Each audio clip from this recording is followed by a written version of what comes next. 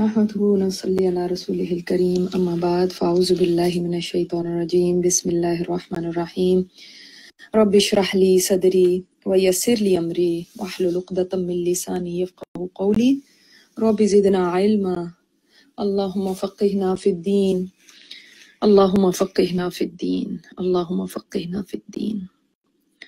اللهم إنا نسألك علما نافعا وعملا متقبلا ورزقا طيبا. اللهم انفعنا بما علمتنا وعلمنا ما ينفعنا وزدنا علما.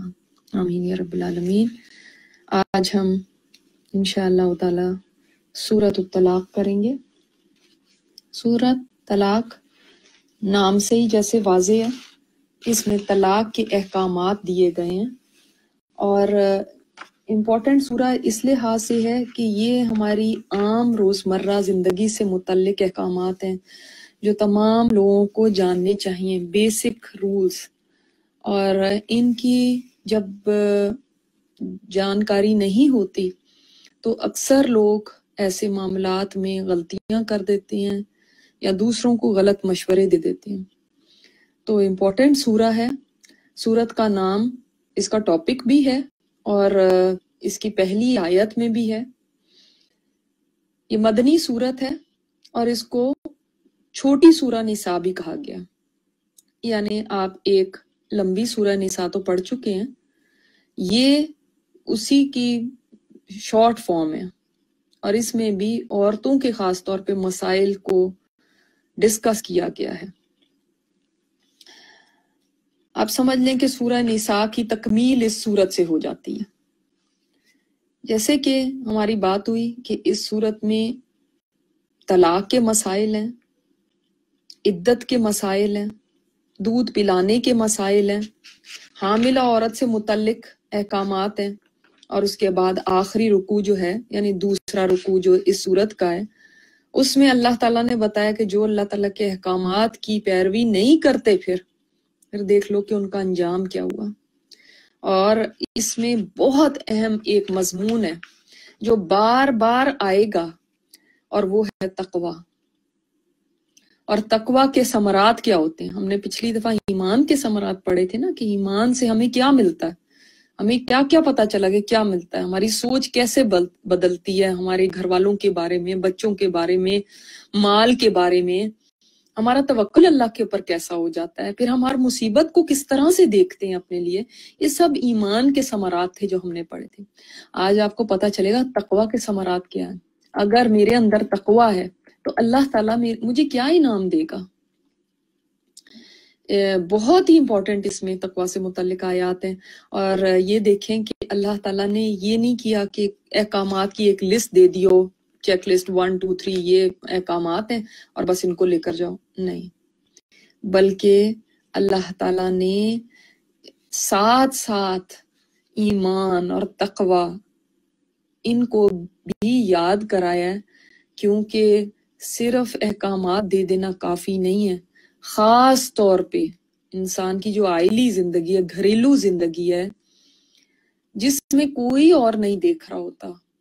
وہ دونوں میاں بھی بھی جانتے ہیں یا اللہ جانتا ہے۔ اس میں تقوا کے بغیر گزارا نہیں چل سکتا۔ اگر خدا خوفی نہ ہو تو مسئلے نہیں حل ہو سکتے۔ آپ دیکھتے ہیں کہ خطبہ نکاح میں بھی جو آیات ہیں، ان میں بھی بار بار تقوا کی تاکید ہے۔ اور طلاق سے متعلق احکامات ہیں، ان میں بھی بار بار تقوا کی نصیحت کی گئی ہے۔ صورت ایسی ہے کہ جس میں آپ کی بہت زیادہ توجہ چاہیے ہوگی ادروائز آپ کو سمجھ نہیں آئے گی۔ یہی میں ابھی آپ کو بتا رہی ہوں، ٹھیک ہے۔ اور آپ کی کوئی کام کرتے ہوئے بھی یہ صورت نہیں سن سکتے کیونکہ پوائنٹس اس میں سے مس ہو گئے۔ تو آپ لاسٹ ہو جائیں گے۔ اس میں ساتھ ساتھ آپ کو نوٹ کرنے کی ضرورت ہے جو امپورٹنٹ باتیں ہیں، ٹھیک ہے؟ یہاں پہ چونکہ طلاق کے احکامات ہیں اور ہم پہلے پڑھ چکے ہیں، تو الحمدللہ آپ کو کچھ تھوڑا بہت تو آئیڈیا ہوگا کہ طلاق کے کیا احکامات ہیں۔ اور ان کے مطابق آپ کو یہ بھی معلومات ہوں گی کہ طلاقیں بھی یعنی دو طرح کی ہوتی ہیں، رجعی طلاق اور طلاق مغلزہ یا طلاق بائنا کہہ سکتے ہیں۔ تو یہاں پر اب نبی علیہ السلاۃ والسلام کو خطاب کر کے اللہ تعالیٰ نے پوری امت کو ایک بات سمجھا دی ہے۔ اصل میں تو امت کو بتایا جا رہا ہے کہ اگر طلاق دینی ہو تو کیسے دی جائے۔ انفارچونیٹلی ہمارے ہاں نکاح کا تو یعنی اس کو بھی صحیح خیر سمجھا تو نہیں جاتا کہ نہ اس کی ذمہ داریوں کا کوئی پتہ ہوتا ہے، نہ حقوق و فرائض کی کوئی بات بتائی جاتی ہے۔ بس شادی کر دی جاتی ہے کہ بڑے ہو گئے تو شادی ہو جانی چاہیے۔ اور نہ ہی طلاق کے بارے میں ذرا بھی کوئی سمجھ ہوتی ہے کہ وہ کیا، کیسے دی جاتی ہے، کیا اس کا طریقہ کار ہے کیا پابندیاں اس کے اندر پھر۔ اور اللہ تعالیٰ کے احکامات اس کے بارے میں کتنے کلیئر ہیں اور یہ کوئی چھوٹی بات نہیں ہے۔ ہمارا دین اسلام یہ پسند نہیں کرتا کہ طلاق ہو، ٹھیک ہے؟ ہمارے دین کے اندر یہ کوئی بہت کوئی پسندیدہ چیز نہیں ہے، جیسے کہ دوسروں کے ہاں تو ایک کھیل ہی بنا ہوا ہے نا۔ لیکن ہمارے ہاں اس چیز کو بہت پسند نہیں کیا جاتا۔ مگر یہ بھی نہیں ہے کہ کوئی چاہے کیسے بھی رہے، مگر اس کو جب شادی ہو گئی ہے تو ایک ہی آدمی کے ساتھ بس نبھا کرنا ہے، یا آدمی کو اس عورت کے ساتھ ہی رہنا ہے، چاہے آپ دنیا ادھر کی ادھر ہو جائے یہ بھی نہیں ہے۔ جہاں پہ یہ ضرورت پڑ جائے، وہاں پہ علیحدگی بھی ہوگی، وہاں پہ کس طرح سے معاملات کیے جائیں گے، یہ ایسے ہی نہیں بتا دیے گئے قرآن میں۔ اسی لیے بتائے گئے کہ ان کے اوپر عمل ہوگا۔ اور یہ آپ دیکھیں نوٹ کیجیے کہ حالانکہ بہت سارے اور احکامات بھی ہیں، لیکن جتنا قرآن کریم میں زور دیا گیا ہے، گھریلو زندگی کے احکامات کو جیسے ہائی لائٹ کیا گیا ہے، جیسے ان کو ڈیٹیل میں بتایا گیا ہے۔ چاہے وہ نکاح ہو، چاہے عدت ہو، طلاق ہو، رضاعت ہو، ان سب کے بارے میں۔ سورہ بقرہ میں بھی آپ دیکھیں، کئی رکوع ہیں اس میں، سورہ نساء میں آپ دیکھیں، سورہ نور، ان صورتوں کے اندر بتائی گئی ہیں یہ باتیں۔ اب سورہ مجادلہ آپ نے پڑھی، زہار کے بارے میں اس میں احکامات آپ نے دیکھے۔ تو یہ کیا آپ سوچتے ہیں کہ بس ایسے ہی ہیں، جسٹ بس دے دیے گئے احکامات اور کوئی فرق نہیں پڑتا اگر یہ ہیں؟ نہیں، پھر ایک مسلمان کے اوپر لازم ہے کہ وہ ان احکامات کو سمجھے اور ان کے مطابق ہی پھر عمل کریں یہ نہیں ہوگا کہ ہم جس ملک میں رہتے ہیں، وہاں پہ چونکہ یہ احکامات نافذ نہیں ہے قانونی طور پر، اس لیے وی ڈونٹ کیئر ہم تو یہاں پہ رہتے ہیں تو ہم اس لیے یہاں کے مطابق چلیں گے، ایسا نہیں ہوگا۔ مسلمان کہیں بھی چلا جائے، وہ چاند پہ بھی جا کے رہنے لگے تو اس کو یہ نہیں احکامات کے اوپر چلنا۔ ہے ملکوں سے کوئی فرق نہیں پڑے گا۔ ٹھیک ہے؟ ایک تو یہ بات کو سمجھنے جو بہت ضروری ہے۔ اور دوسرے یہ کہ جو گھریلو زندگی ہے، اس کی کیا اتنی زیادہ امپورٹنس ہے کہ اس کے اوپر اتنی ڈیٹیل کے اندر احکامات دیے گئے؟ جی ہاں اس لیے کہ اسی سے معاشرہ بنتا ہے۔ اگر بروکن فیملیز ہوں گی تو نسلوں تک کے اوپر اثر جائے گا۔ خاندانی یونٹ اگر مضبوط نہیں ہے تو اس کے بڑے دورا نتائج ہوتے ہیں، یہ کوئی چھوٹی بات نہیں ہوتی۔ ایک خاندان کا ٹوٹنا جو ہے نا بہت طرح سے خرابیاں پیدا کرتا ہے۔ اسی وجہ سے آپ نے وہ حدیث بھی سنی ہوگی کہ جس میں آپ صلی اللہ علیہ وسلم نے شیطان کے بارے میں بتایا تھا کہ کس چیز سے وہ سب سے زیادہ راضی ہوتا ہے، خوش ہوتا ہے اور وہ میاں بیوی کو جدا کرا کے خوش ہوتا ہے۔ ٹھیک ہے؟ تو ٹھیک ہے، یہ ایک ناپسندیدہ چیز ہے، یہ ہے، لیکن ایٹ دا سیم ٹائم یہ بھی ایک وہ چیز ہے جس کی ضرورت بھی ہے اور معاشرے میں ایسا ہو کبھی نہیں نبھ رہی آپس کے اندر رہ رہے ہیں، بہت عرصے سے، لیکن ہر وقت ہر وقت کی لڑائی ہے، ہر وقت کا ایک دوسرے کے ساتھ یعنی دیکھ کے ایک دوسرے کو برداشت نہیں ہے، حقوق و فرائض ادا نہیں ہو رہے آپس میں۔ اور گھر کا ماحول ایک جنگ کا میدان نظر آتا ہے۔ بچوں کے اوپر غلط اثرات پڑ رہے ہیں۔ تو ایسی صورت میں اسلام نہیں کہتا کہ نہیں، ضروری ہے کہ بس جڑے ہی رہو چاہے جو مرضی ہو رہا ہے۔ پھر وہ اپنا راستہ لے، وہ اپنا آج ہم دیکھیں گے سیکنڈ آیت میں کہ بھائی ٹھیک ہے، پھر جاؤ۔ زندگی گزارنی تو ٹھیک سے گزارو، ورنہ اپنے راستے الگ کر لو۔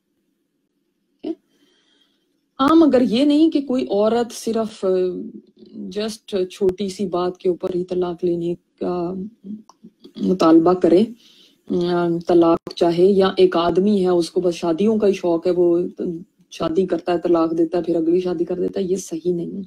آپ صلی اللہ علیہ وسلم نے فرمایا، نکاح کرو طلاق نہ دو۔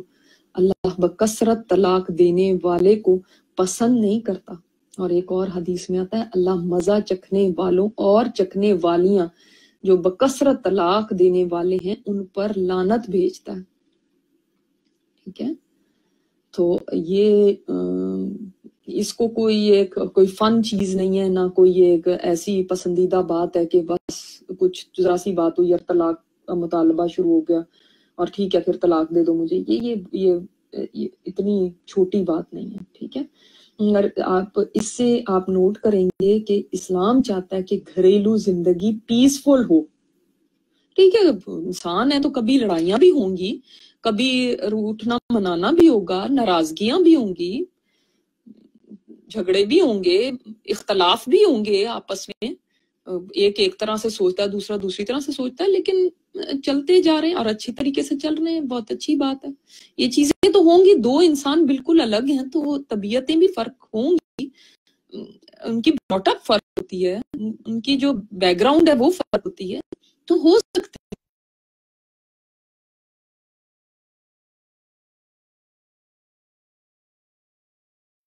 لیکن اگر روز مرہ زندگی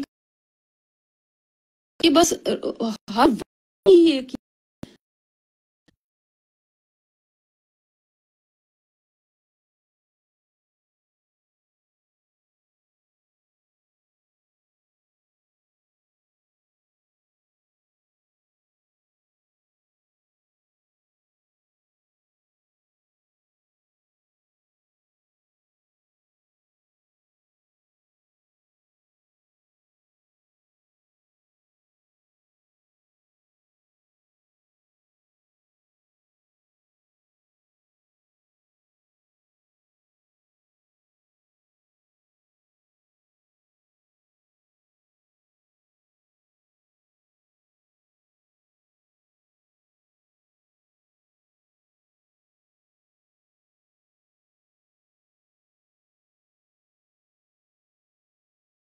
سے یعنی اس عورت کو الگ نہیں کر سکتا۔ چاہے کوئی عدالتیں ہیں، چاہے کوئی ماں باپ ہیں کسی کے، چاہے کوئی کچھ ہے، معاشرے ہیں، کوئی کسی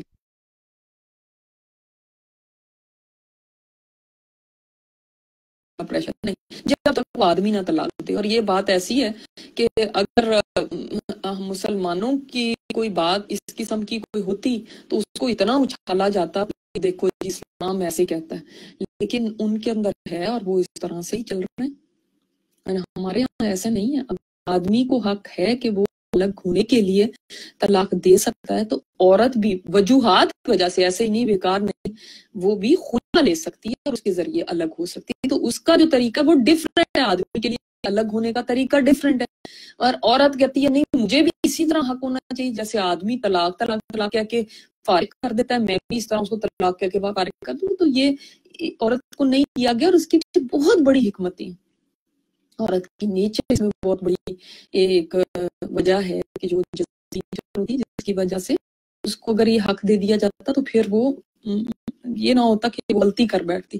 اگر جیسے ہم نے پہلے کی آیات پڑھی تھی تو میں نے اس وقت بھی آپ کو یہ بات کی تھی کہ اگر آدمی بھی عورت کے لیول پر ہی اتر آئے یعنی وہ بھی اتنا ہی جذباتی ہو، جیسے عورت جذباتی ہوتی ہے، اور جیسے کہ عورت کو سمجھ نہیں آتی اور وہ کبھی جذبات میں آ کے کچھ باتیں بول جاتی آدمی بھی اسی لیول پہ ہی اتر جائے تو آدمی کو تو اللہ نے اس لیے یہ حق دیا تھا کہ وہ زیادہ سمجھداری کے ساتھ کام لے گا، وہ جذباتی ہو کے نہیں ایک دم بولے گا، وہ اپنے اوپر کنٹرول رکھتا ہوگا۔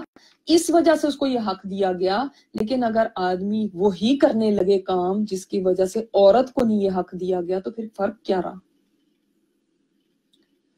ٹھیک ہے؟ فرق کیا رہا؟ تو اس لیے آدمیوں کو چاہیے کہ وہ واقعی اللہ تعالیٰ نے جو ان کو قوام بنایا ہے، جو ان کو یہ ایک بہت بڑا حق دیا ہے، تو وہ اس کو سوچ سمجھ کے استعمال کریں اس حق کو۔ ان کو اللہ نے ذمہ دار بنایا ہے۔ اس لیے نہیں بنایا کہ وہ زیادتیاں کریں، بلکہ ان کی پوچھ بھی زیادہ ہونی ہے۔ ان کو ذمہ دار بنایا ہے تو اب ان کو ان سے سوال بھی زیادہ ہوگا، ظاہر ہے جو کسی چیز کے اوپر رسپانسیبل بنایا جائے، آپ گھر میں بھی ایک بچے کو رسپانسیبل بنائے آپ کی کلاس میں کچھ لوگ ہیں جن کو گروپ انچارج بنایا گیا، وہ رسپانسیبل ہیں اپنے گروپ کے۔ تو ان سے پوچھا جاتا ہے نا پھر۔ تو اگر ایک گھر کے اندر ایک آدمی ذمہ دار بنایا گیا ہے، تو جو بھی اس قسم کے معاملات ہوں گے، اس میں سب سے زیادہ تو اس کی پوچھ ہوگی نا۔ تو اس لیے آدمیوں کو اس چیز کے بارے میں سمجھ رکھنی چاہیے اور ان کو یہاں پہ احکامات دیے گئے کہ جب تم نے طلاق دینی ہو تو پھر تم طلاق کیسے دو گے؟ طریقہ کار کیا ہوگا؟ ٹھیک ہے؟ یہاں پہ خلا کی نہیں بات آئی ہے، طلاق کی ہے۔ اور اس کے اندر بہت غمگین ہونے کی ضرورت نہیں کہ اچھا آدمیوں کو سارا رائٹ دے دیا میں نے آپ کو بتایا عورت کے پاس خلا کا۔ یا پھر وہ عدالت میں جا کے اپنا نکاح کینسل بھی فسخ بھی کرا سکتی ہے۔ دیکھتے ہیں آیت کو، آیت نمبر ون سے۔ بسم اللہ الرحمن الرحیم۔ یا ایوہ النبی اے نبی صلی اللہ علیہ وسلم، اذا طلقتم النساء، جب طلاق دو تم عورتوں کو۔ سب سے پہلے تو طلاق کا معنی کیا؟ طلاق کا معنی یہ ہے کہ جو نکاح کا کانٹریکٹ ہے، جب اس کو آپ نے اینڈ کرنا ہے۔ عقد نکاح کو ختم کرنا ہے۔ اب دیکھیں جب نکاح ہوتا ہے تو کیا ہوتا ہے؟ ایک کانٹریکٹ ہوتا ہے نا دو لوگوں کے درمیان۔ اس کانٹریکٹ کو اب ختم کر رہے ہیں۔ اس کو کہتے ہیں طلاق۔ تو جب طلاق دو تم عورتوں کو ہن تو طلاق دو ان کو ان کی عدت کے لیے یعنی یہاں پہ لی عدتی ہن سے مراد کیا ہے؟ فی عدتی ہن عدت میں جب طلاق دینے کا ارادہ کرو تو یعنی عدت کے آغاز میں، عدت کے شروع میں طلاق دینی ہے تم نے۔ یعنی اس کی ایک ٹائمنگ رکھی گئی ہے کہ کس وقت طلاق دے سکتے ہو۔ ایسا نہیں ہے کہ ادھر جھگڑا ہوا، ادھر منہ سے وہ الفاظ بول دیے اور سوچا کہ بس طلاق ہو گئی ہے۔ نو، اس کا ایک ٹائم شریعت نے مقرر کیا اور وہ ٹائم کون سا ہے؟ وہ ابھی ہم ڈسکس کرتے ہیں کیا ٹائم ہے۔ اور دوسرا حکم کیا دیا گیا؟ وہ احسل عدت۔ اور گنو عدت کو۔ یعنی عدت ایک اتنی امپورٹنٹ چیز ہے کہ اس کو گننا بھی ضروری ہے، کیونکہ اس کی بیس کے اوپر بہت سارے معاملات ہیں۔ ٹھیک ہے؟ اچھا اب پہلی بات، عدت کیا ہوتی ہے؟ عدت دو طرح کی ہے۔ ایک عدت وہ ہے جو بیوہ کی عدت ہوتی ہے۔ اس کا بھی آپ کو پتا ہوا کہ کسی عورت کا شوہر فوت ہو جائے تو اس عورت کے اوپر چار ماہ اور دس دن کی عدت ہوتی ہے۔ اور یہ چار ماہ دس دن کون سے ہیں؟ یہ لونر کیلنڈر کے مطابق۔ قمری مہینے جو ہیں، وہ چار مہینے دس دن آپ اگر یہ کرسچن کیلنڈر، سولر کیلنڈر کو فالو کرتے ہیں تو اس کا مطلب یہ نہیں کہ اس کے مطابق ہی جو یہ مہینے گرنے لگے۔ ٹھیک ہے؟ اچھا اب آپ کو پتا ہے کہ اس عدت میں کیا ہوتا ہے؟ وہ عورت اپنے شوہر کے گھر میں ہی رہے گی۔ وہ کوئی بناؤ سنگھار نہیں کرے گی۔ وہ نکاح نہیں کر سکتی۔ وہ خوشبو نہیں لگا سکتی۔ کوئی بہت ضروری نہیں کالے کپڑے پہنے، مگر کوئی ایسے بڑکیلے، رنگیلے کپڑے بھی نہیں پہن سکتی۔ اور گھر سے نہیں نکل سکتی، گھر میں ہی رہے زیادہ تر۔ انلیس کی کوئی بہت ہی ضرورت ہے ارجنٹ تو پھر نکل سکتی ہے۔ ورنہ وہ اپنا وقت گھر میں گزارے گی۔ یہ اس کی عدت ہے۔ مگر جو طلاق کی عدت ہے نا، وہ ڈفرینٹ ہے۔ ٹھیک ہے؟ وہ وہ عدت نہیں ہے جو بیوہ کی عدت ہے۔ ٹھیک ہے؟ وہ کیسی ہوگی؟ نمبر ون اس میں بھی شادی تو نہیں کر سکتے۔ اس عدت میں بھی شادی نہیں کر سکتے۔ نہ ہی کوئی پروپوزلز لے سکتے ہیں، کوئی رشتے بھی نہیں دیکھ سکتے۔ ٹھیک ہے؟ اور اس کے علاوہ کوئی ایسی چیز نہیں ہے کہ وہ گھر سے نہیں نکل سکتی یا وہ زینت نہیں کر سکتی یا وہ جیسے پہلے کرتی تھی اپنے شوہر کے لیے، جیسے ہوتا ہے طلاق رجعی کی صورت میں، تو وہ زینت بھی کرے گی، سب کچھ کرے گی۔ ہاں طلاق جو مغلزہ ہے، تین طلاقوں کے بعد ہاں وہ پھر اس گھر میں نہیں رہ سکے گی۔ مگر بعض جگہ پہ آتا ہے، آج ہم پڑھیں گے بھی وہ کہ نہیں، پھر اس گھر میں بھی اس کو رکھا جائے گا۔ تو یہاں پہ کیا بات ہو رہی ہے کہ ان کی عدت کے لیے ان کو طلاق دو۔ یعنی عدت کا جو آغاز ہے، شروعات ہے، اس میں طلاق دی جائے گی۔ کیونکہ عدت طلاق یافتہ کی کتنی ہے؟ تین has three period, three cycles. ٹھیک ہے؟ اب کیسے ہوگا یہ۔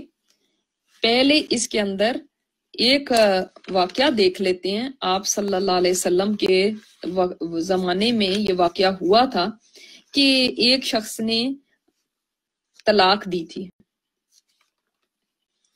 اور اس نے جو طلاق دی، وہ ایسی طلاق تھی کہ حیض کے دوران ہی طلاق دے دی تھی۔ جس پر کہ آپ صلی اللہ علیہ وسلم نے بہت ناراضگی کا اظہار فرمایا تھا اور فرمایا تھا کہ جاؤ اپنی بیوی کو جا کے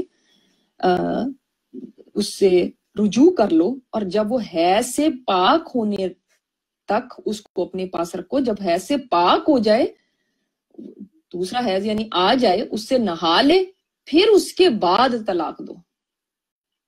سمجھائی؟ یہ عبداللہ بن عمر تھے۔ یہ بخاری شریف میں حدیث ہے۔ تو یعنی اس وقت حیض ہے اس کو، اس وقت پیریڈ ہے۔ اب کیا کیا ہوگا؟ ابھی رجوع کر لو، کیونکہ تم نے حیض کی حالت میں دی ہے۔ حیض کی حالت میں طلاق دینا منع ہے۔ تو حیض کی حالت میں نہیں دے سکتے۔ اب سوال فوراً یہ آتا ہے، نہیں طلاق ہو جائے گی کہ نہیں؟ طلاق ہو جائے گی، لیکن اس کو پسند نہیں کیا گیا۔ یہ صحیح نہیں ہے۔ ابھی میں آپ کو بتاؤں گی کہ مصنون طریقہ کیا۔ اب کیا ہے کہ جس وقت کہ وہ حیض سے فارغ ہو جائے اور پھر دوبارہ اس کو دوسرا حیض آئے، اس سے نہا لے پھر اگر جی چاہے تو طلاق دے دے۔ ٹھیک ہے؟ تو یہ طریقہ کار بتایا گیا کہ پاکیزگی کی حالت میں اس کو طلاق دو اور تب دو جس وقت کے اس توہر میں، توہر سمجھتے ہیں جو کلین حالت ہوتی ہے۔ اس میں طلاق دی جائے جس میں اس کے ساتھ کوئی تعلق قائم نہیں کیا ہوا، اس میں طلاق دی جائے۔ ٹھیک ہے؟ یعنی اگر حیض کی حالت میں دی ہے تو رجوع کر لے۔ اگر رجعی طلاق ہے تو، ایک دفعہ دی بھی ہے یا دوسری دفعہ دی۔ جب حیض سے فارغ ہو جائے، پھر اس کے بعد حیض آئے اس حیض سے بھی جب پاک ہو جائے، اس وقت اگر طلاق دینا ہے تو اس توہر میں مباشرت کے بغیر طلاق دی جائے گی۔ ٹھیک ہے؟ تو اب سمجھ آ گئی بات کہ طلاق حیض کی حالت میں دینا حرام ہے۔ اگر کسی نے ایسا کیا ہو تو پھر اس کو رجوع کرنا چاہیے۔ اور توہر میں بھی کس میں دی ہو؟ جس میں تھرو آؤٹ اس سے مباشرت نہ کی ہو۔ ٹھیک ہے؟ اور اگر توہر میں ایسا توہر ہے جس میں کہ مباشرت کی ہوئی ہے، تو اس میں بھی طلاق نہیں دی جا سکتی یعنی حرام ہے دینا۔ یہ بات امید ہے، سمجھ آ گئی ہوگی۔ تو پہلا حکم کیا دیا گیا کہ جب کسی عورت کو کسی آدمی نے فارغ کرنا ہو، طلاق دینی ہو، تو اس مدت انتظار کو عدت کہتے ہیں یعنی جب جو طلاق دینے کے بعد جو ٹائم آئے گا، اس کو عدت کہتے ہیں۔ عدت کے شروع ہونے کے وقت طلاق دی جائے۔ ٹھیک ہے؟ اب میں آپ کو تھوڑی سی طلاقی اقسام بھی بتا دیتی ہوں۔ پہلی طلاق کی قسم ہے، طلاق آسن یا مسنونہ طلاق۔ سنت کے مطابق جو ہے وہ یہ ہے، جیسے میں نے ابھی آپ کو بتایا کہ عورت حیض سے پاک ہو اور پاکی کے دنوں کے اندر آدمی نے اس سے کوئی تعلق نہ قائم کیا ہو۔ ان میں صرف ایک طلاق دی جائے۔ وہ بھی ساری نہیں، ایک طلاق دی جائے۔ اور طلاق بدائی بدعی طلاق بدت طلاق یہ ہے کہ ایک ہی دفعہ میں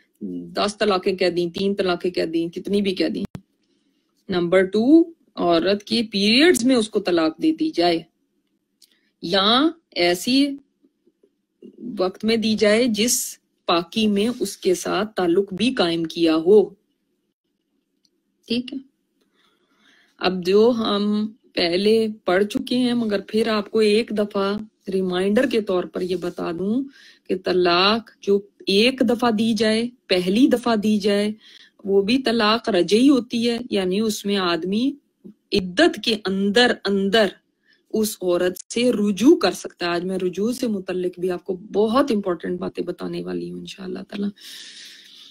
پھر آدمی کبھی زندگی میں اس کو دوسری طلاق دیتا ہے تو وہ بھی طلاق رجعی کہلاتی ہے یعنی اس میں بھی عدت کے اندر اندر، اور عدت کتنی ہے؟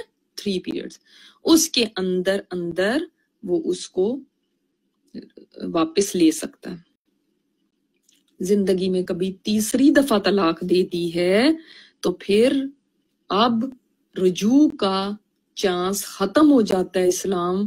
صرف دو دفعہ رجوع کا چانس دیتا ہے، طلاق مراتین دو ٹو ٹائمز۔ صرف ہے کہ رجوع کر سکتے ہیں واپس روک سکتے ہیں، اپنے پاس یا جانے دے سکتے ہیں۔ عدت کے اندر آدمی کو موقع ملتا ہے کہ وہ فیصلہ کر لے۔ یہ ابھی آئے گا بھی سبق میں بھی کہ اس نے کیا کرنا ہے۔ جب تیسری دفعہ طلاق دیتا ہے تو وہ طلاق مغلزہ یا طلاق بائن جس کو کہتے ہیں، وہ ہو جاتی فیل فور اسی وقت نکاح ختم ہو جاتا ہے اور اس کے بعد کوئی چانس نہیں ہے رجوع کا، کوئی چانس نہیں ہے دوبارہ نکاح کرنے کا انلیس کہ وہ عورت کسی اور سے جا کے شادی کرے، وہاں پہ اس کا اگلا شوہر مر جائے یا اس کو طلاق دے دے اپنی مرضی سے، تو پھر کبھی زندگی میں اس سے واپس کر سکتی ہے، ورنہ نہیں کر سکتی۔ ٹھیک ہے، یہ آپ کو پتا ہونا چاہیے۔ تو ہم نے دیکھ لیا کہ طلاق کا معنی کیا ہے، عدت کا معنی کیا ہے، اور ہمیں یہ پتا چل گیا کہ ہمیں کہا گیا کہ شروع میں اس کے طلاق دو۔ اگر آپ اپنی فنگرز کھولیں، اپنے لیفٹ ہینڈ کی چار انگلیاں کھولیں۔ یہ چار انگلیوں کی جو اوپر کی ٹپس ہیں، ان کو سمجھیں پیریڈز اور یہ جو نیچے یہ انگلیوں کے درمیان جگہ، ان کو سمجھیں توہر تو یہ آپ نے شہادت کی انگلی کے اوپر ہاتھ لگائیں، اس کو ٹچ کریں۔ یہ ہے ایک پیریڈ، ٹھیک ہے؟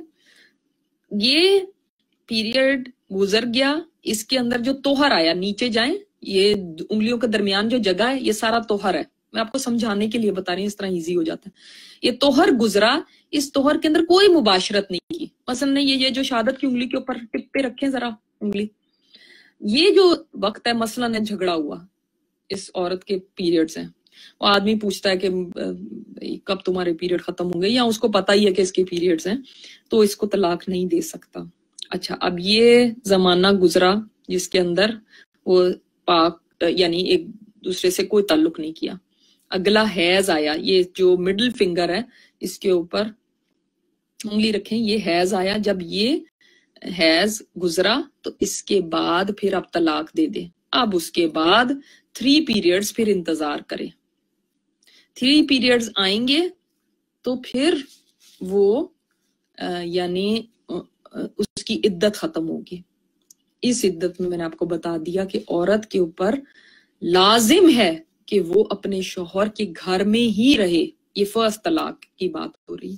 یا سیکنڈ کی فرسٹ اور سیکنڈ دونوں کے احکامات سیم ہیں۔ اس لیے کوئی تین کے لیے ہمیں تین باتیں نہیں کرنے کی ضرورت، پہلی اور دوسری کی سیم چیزیں۔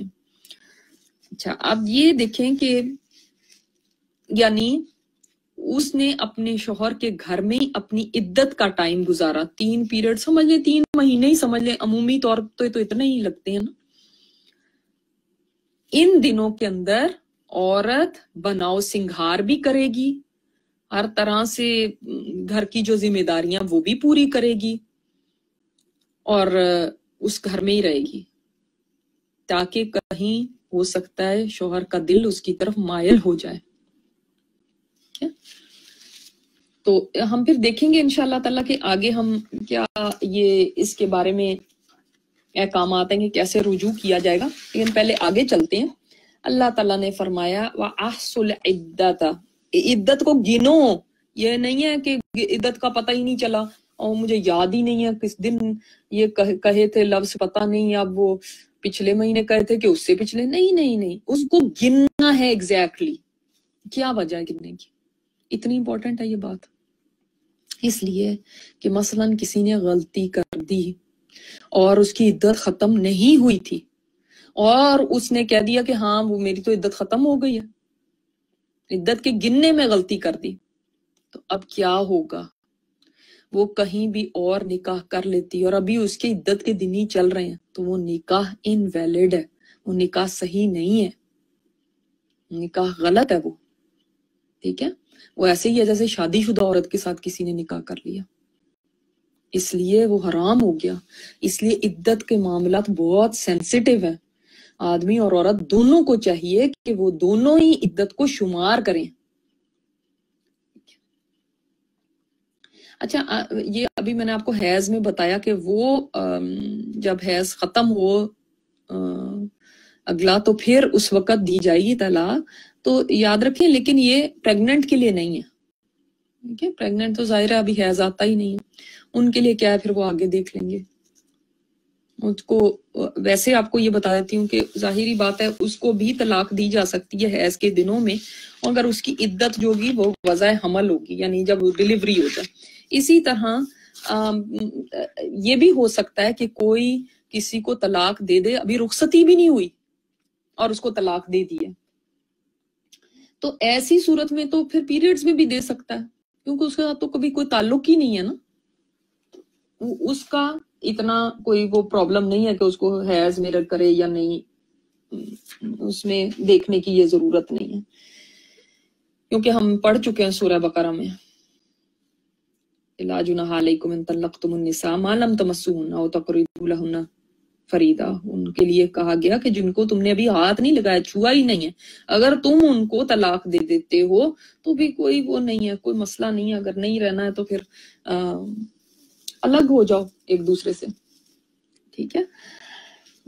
اچھا اب فوراً اس کے اندر کیا بات آ گئی؟ یہ حکم دیتے ہی کہ یاد رکھو ایک بات اس کے اندر وَتَّقُ اللہ اللہ سے ڈرو۔ ربکم، جو رب ہے تمہارا۔ اپنے رب سے ڈرتے ہوئے یہ احکامات فالو کرنا۔ کیونکہ کسی نے طلاق کتنی دفعہ کہی ہے زندگی میں یا کیا کیسے اس نے کہی ہے؟ بعض الفاظ بھی طلاق کے معنی میں ہوتے ہیں، جیسے کسی نے نیت کر لی، لڑائی ہو رہی ہے، کوئی نیت کے ساتھ یہ کہتا ہے کہ جاؤ، میرا تمہارا کوئی تعلق نہیں آج سے، ختم ہو گیا ہمارا تعلق۔ اور نیت ہی اس کی یہ ہے کہ بس میں نے ختم کر دیا طلاق میری نیت۔ تو اس سے بھی طلاق ہو جاتی کوئی آدمی کہتے ہیں نکل جاؤ میرے گھر سے، بس میرا تمہارا ختم ہے، بس۔ تو اس میں بھی ہو سکتی ہے طلاق۔ ایسے الفاظ۔ لیکن اب یہ آپ خود نہ فتوے دیجیے گا کسی کو، کیونکہ یہ بڑے سینسٹیو معاملات ہیں۔ اس میں بڑا ڈیپتھ کے ساتھ دیکھ کے اور ایک ایک بات کو سمجھ کے پھر اس کے اندر علماء فتوا دیتے ہیں۔ اس میں بہت زیادہ اس چیز کا عمل دخل ہے کہ آدمی کی نیت کیا تھی جب وہ یہ کہہ رہا تھا۔ ٹھیک ہے؟ اسی لیے تو کہا گیا وطق اللہ اب وہ نیت کو بھی اللہ ہی جانتا ہے نا، کسی نے کس طرح سے بولا۔ اور طلاق کہنے والے بھی کئی دفعہ کہہ دیتے ہیں، ہماری تو نیت نہیں تھی طلاق دینے کی، لیکن ہم نے دے دی۔ جب آپ نے طلاق کا لفظ بول دیا تو نیت اب تھی یا نہیں تھی؟ اب اس سے کوئی فرق نہیں پڑتا۔ اس کا بولنا ہی کافی ہوتا ہے۔ یہ کوئی مذاق کی باتیں نہیں ہیں۔ ٹھیک ہے لیکن دیکھو اللہ تعالیٰ نے کس طرح عدت کے کو رکھ کے اور آدمی کو چانس دے دیا کہ اگر وہ پچھتاتا ہے اگر آج غصہ آیا ہے تو چلو تین حیض تک عورت تمہارے گھر میں ہی ہے آج نہیں تو کل کل نہیں تو پرسوں کسی وقت تو خیال آ جائے گا کہ نہیں یہ میں نے صحیح نہیں کیا غصہ ٹھنڈا ہوگا تو کچھ بات عقل کھلے گی کچھ بات سمجھ آئے گی تو انسان بہتر پھر فیصلے کر سکتا ہے۔ اس لیے عدت کے رکھنے میں بہت بڑی اللہ تعالیٰ کی مصلحت ہے۔ تو فرمایا، لا تخریجو ہننا من بیوتی ہننا تم نکالو نہیں ان کو ان کے گھروں سے۔ یہ رجعی طلاق کی بات ہو رہی نا، ابھی یعنی پہلی طلاق ہوئی ہے یا دوسری ہوئی ہے۔ تم نے ان کو گھروں سے نہیں نکالنا کہ جیسے ہمارے ہاں ایک چیز کامن ہی دکھائی جاتی ہے۔ طلاق طلاق طلاق، چلو نکل جاؤ گھر سے باہر۔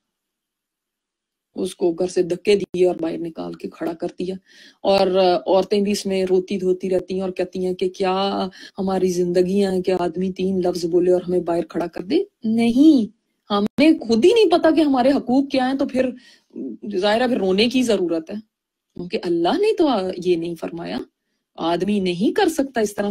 یہاں پہ نوٹ کریں۔ اب آپ لوگ، الحمدللہ، اتنی آپ کو تو یہ گرامر کا پتہ چل گیا ہے۔ لا تخرجو ہن ہن کیا ہے؟ میں نے آپ کو بھی بتایا۔ مونس جمع کا سیگا۔ ان کو نہ تم نکالو۔ کن کو؟ ان بیویوں کو۔ یعنی عدت کے زمانے میں ان کو تم نے گھر سے نہیں نکالنا۔ مم بویوتی مم بویوتی ہن۔ ان کے گھروں سے۔ کس کو کہا جا رہا ہے؟ مرد کو کہا جا رہا ہے کہ ان عورتوں کو ان کے گھروں سے مت نکالو۔ یہ نہیں کہا جا رہا تم اپنے گھر سے مت نکالنا۔ سبحان اللہ اللہ تعالیٰ بتا رہے ہیں عورت کو کہ یہ ابھی بھی تمہارا گھر ہے اور آدمی کو بھی کہ یہ ابھی اس کا گھر ہی ہے جب تک عدت نہیں ختم ہوتی۔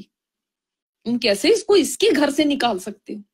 ہمیں یہاں سے بہت بڑی ایک اور یہ بات پتہ چلتی ہے کہ شادی کے بعد عورت کا گھر وہی ہوتا ہے جو اس کے شوہر کا گھر ہے۔ ٹھیک ہے؟ اس کا گھر وہ نہیں ہے کہ میرے ماں باپ کا گھر وہ میرا گھر ہے۔ اور میں یہاں پہ تو ٹیمپرری آئی ہوں انہیں باہر بھاگ بھاگ کے وہیں جانا۔ نہیں گھر اب تمہارا یہ ہے۔ عورت کا حق ہے اس گھر پہ اس, اس کا گھر کا حق یا بویوتی ہننا ویسے عورتیں روتی پھرتی ہیں ہمارا تو کوئی گھر ہی نہیں۔ پہلے شوہر کے پہلے ماں باپ کے گھر پھر شوہر کے گھر پھر بیٹے کا او بھائی تو تمہیں تو اللہ نے فرمایا کہ یہ تمہارا گھر ہے۔ کیسے ہم دیکھیں جب ہم ہندوانہ اس اثرات کے اندر بہت ہوتے ہیں نا تو پھر ہم اسی طرح کے رونے روتے ہیں، کیونکہ ہمیں اپنے مذہب کا تو نہیں پتا ہے۔ ہم بس ان کی دیکھا دیکھی، وہ کچھ بھی نہیں ان کو سمجھا جاتا، یا کچھ ان کو دکے دے کے نکال دیتے ہیں، یا ان کو کہا جاتا ہے، یہ تمہارا گھر نہیں ہے، یا کچھ ہے، تو وہ ہم نے بھی اپنے اوپر وہی سوار کر لیا اگر ہم آج یہ آپ یہ پڑھ لیں گے نا سورت، تو آپ کو پتا چلے گا اللہ تعالیٰ کیسے عورت کی وکالت فرماتا ہے۔ اللہ تعالیٰ نے کیسے اس کے حق میں یہ آیات اتاری ہیں۔ آدمی کو حکم دیا، لا تو خریجون تم نہیں نکالو گے۔ یہ حکم کس کو مل رہا؟ ہے میں نے آپ کو بتایا تھا نا فیلے نہیں ہوتا نا، لا کے بعد تا آ جائے تو۔ لا تو خریجو تم نہیں نکال سکتے ان کو، ان کے گھروں سے۔ تو اب اس کے بعد عورت کو حق کے ساتھ اس گھر میں رہنا ہے۔ چاہے اس کے نے طلاق دے دی اس طرح منٹ میں مجھے کر کے باہر نہیں کھڑا کر سکتا۔ یہ میرا گھر ہے ٹھیک ہے تو اور آدمی کو بھی یہ سمجھ آ جاتی ہے کہ اب میں ایسے ناجائز فائدہ نہیں اٹھا سکتا۔ مجھے اس کو یہیں رکھنا ہے۔ اب چاہے مجھے کتنا ہی برا لگ رہا ہے یا کتنا ہی غصہ آیا ہوا ہے، میں اس کو یہاں سے نکال نہیں سکتا۔ کیونکہ یہ حکم کس کا ہے؟ یہ نہیں کہ وہ کوئی احسان کر رہا عورت کے اوپر۔ یہ حکم کس کا ہے؟ اگر وہ یہ کرے گا تو کس کے حکم کو توڑے گا؟ قرآن کے، اللہ کے۔ یہ کیا چھوٹی بات ہے؟ جو مرد ایسے کرتے ہیں، ان کو یہ آیات دکھا دیں۔ نہیں نکال سکتے وہ گھر سے۔ جب تک عدت نہ ختم ہو جائے، چاہے تمہیں کتنا ہی برا لگتا ہو، تم چلے جاؤ۔ لیکن وہ عورت نہیں وہاں سے جائے گی، یہ اس کا گھر۔ سبحان اللہ۔ اور پھر عورتیں کیا چاہتی ہیں؟ اگر وہ اپنے ہی دین کے اوپر پھر اتنی یعنی تان کرتی ہیں، ایسی باتیں کرتی ہیں ہمارے تو میں عورت ایسے ایسے۔ نہیں، یہ دوسرے مذاہب میں یا ہمارے یا ہمارے بھی معاشرے کے اندر کہا جاتا ہے عورت پیر کی جوتی، فلاں، یہ یہ کیسی باتیں اللہ تعالیٰ نے تو اس کو اتنی تکریم دی۔ ہے یہ تمہارا گھر ہے، تم اس سے نہیں نکلو گے۔ ولا یو، ولا یخرجنا نہ وہ خود نکلیں۔ ان کو خود بھی نہیں ضرورت ہے۔ کہ اب میرا کیا رہ گیا، اس نے تو مجھے طلاق ہی دے دیا چلو، سامان اٹھایا۔ وہ ہر وقت یہ تو ایک ہمارے جو میڈیا ہوتا ہے، اس میں بھی اسی طرح کی چیزیں دکھاتے ہیں نا۔ ہر ڈرامے میں ادھر لڑائی ہوئی، ادھر سوٹ کے کھولے بیٹھی ہیں اور اس کے اندر کپڑے ڈال رہی۔ بھائی، اس طرح سے تو نہیں، یہ ہی پتا چلتا ہے، یہ یہ ہم اپنے لوگوں کو سکھاتے ہیں اور اسی طرح کی چیزیں پھر گھروں کو تباہ کر کے رکھ دیتی ہیں۔ کیونکہ عدت کا میں نے آپ کو بتایا نا، کتنی بڑی مسلحت ہے۔ ابھی ہم اس کے اوپر اور بات کریں گے۔ لیکن وہ بھی نہ اس طرح کریں کہ وہ اٹھائیں اور وہ ٹیکسی لی اور اپنی ماں کے گھر پہنچ گئی۔ بس لڑائی ہو گئی یا ختم ہو گیا سا۔ یاد رکھیں، کبھی اپنے گھر سے قدم باہر نہ نکالیں جس وقت لڑائی ہو۔ ویسے خوشی سے سو دفعہ جائیں۔ اپنے گھر سے لڑ کے کبھی نہ نکلے اپنے گھر سے سمجھ جا رہی نا؟ وہ آپ کا گھر ہے جو آپ کے شوہر کا گھر۔ ہے اس سے کبھی لڑ کے نہ نکلے اچھا اس کے اندر کتنی بڑی مسلحت ہے۔ آپ اس مسلحت کو دیکھیں۔ نمبر ون، جب عورت اسی گھر کے اندر رہے گی، بناؤ سنگھار بھی کرے گی گھر کی دیکھ بھال بھی کر رہی ہے، سب کر رہی ہے۔ اب دیکھیں، آدمی کی نظر اس کے اوپر پڑے گی، کبھی دوسرا ٹھنڈا ہو جائے گا، کبھی دل مایل ہوگا، کبھی کچھ ہوگا، تو رجوع کر لے گا۔ کچھ کچھ سمجھ، عقل ٹھکانے آئے گی تو پھر اس کو ہوگا کہ میں اب واپس اس کو لے لوں۔ ٹھیک ہے۔ دوسرا یہ کہ اگر عورت چلی جاتی ہے تو کیا ہوتا ہے؟ وہ اپنے، ظاہر ہے اپنے ماں باپ کے گھر جائے گی۔ وہاں پہ ان کو پتا چل گیا کہ اب یہ تو آ گئی اور اس آدمی نے یہ کیا اور اس کو طلاق دے دی ہے۔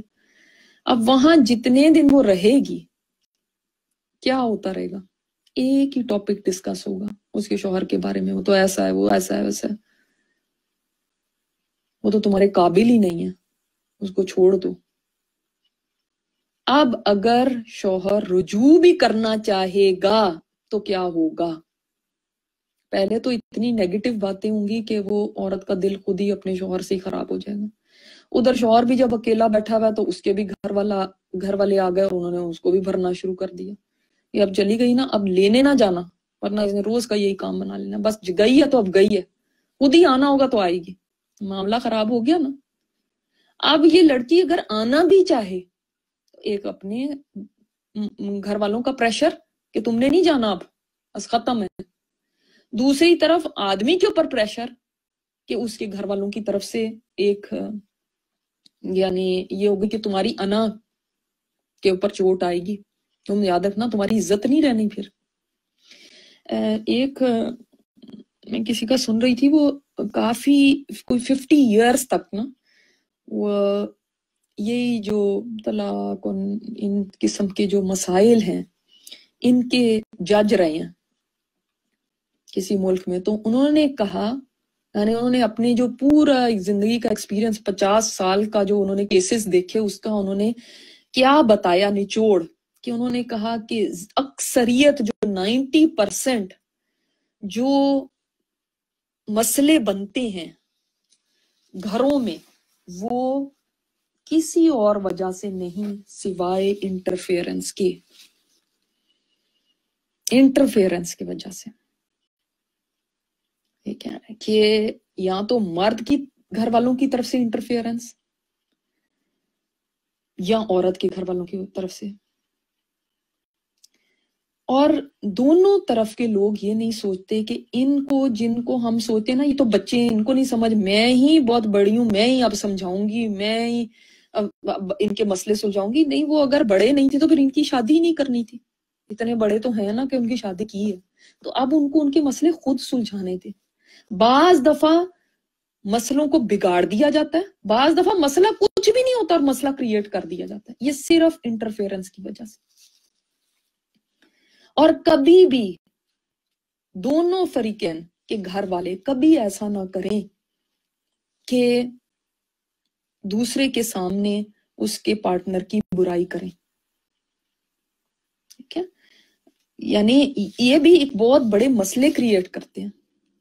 یا جیسے مثلاً ہے کہ ماں کو بچے کا بہت خیال ہے تو وہ کہہ رہی ہے کہ ہائے میرا بیٹا کتنا کمزور ہو گیا، کھانا نہیں بنا کے دیتی تمہیں۔ کیسی بیوی ہے تمہاری؟ سو کے ہی نہیں اٹھتی تو کیا؟ بھائی، اگر وہ سو کے نہیں اٹھتی تو آپ کو پریشانی کیا اگر اس کے شوہر کو نہیں پریشانی؟ ایک تو یہ بہت بڑے مسئلے اب بن گئے کہ سو کے کتنے بجے اٹھتی اور کتنے بجے نہیں اٹھتی؟ کھانا کیا بناتی ہے اور کیا سارا دن کرتی ہے؟ اسی وجہ سے پھر خواتین، لڑکیاں اتنی تنگ آ جاتی ہیں کہ وہ کہتی ہیں، ہم نے ساتھ نہیں رہنا۔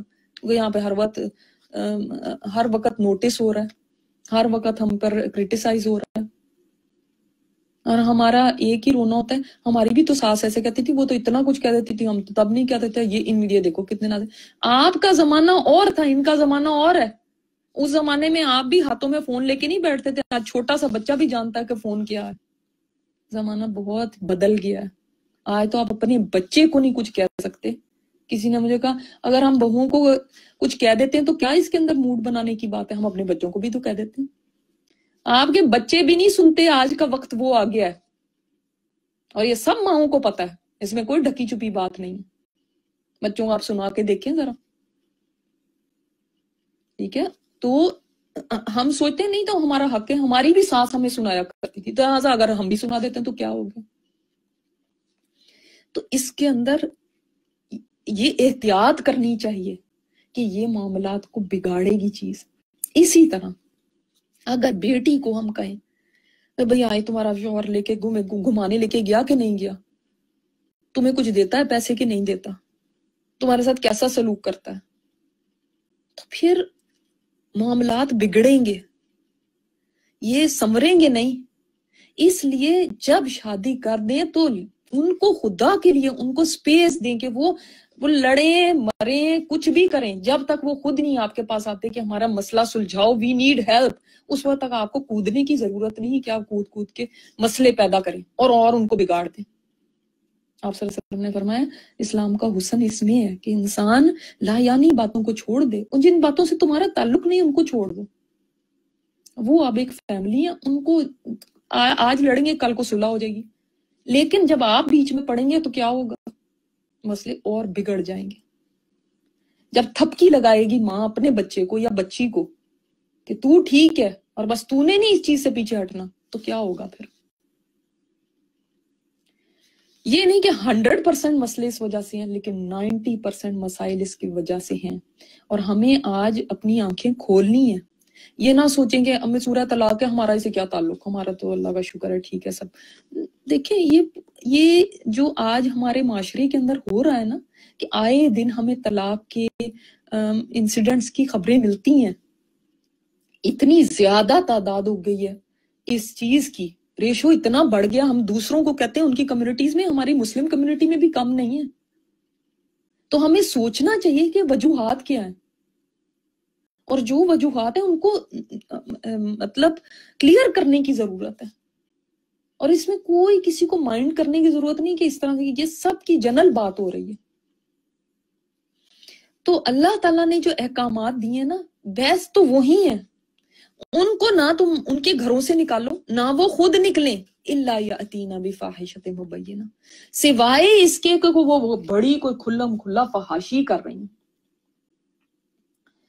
کیا فحاشی ہو سکتی ہے؟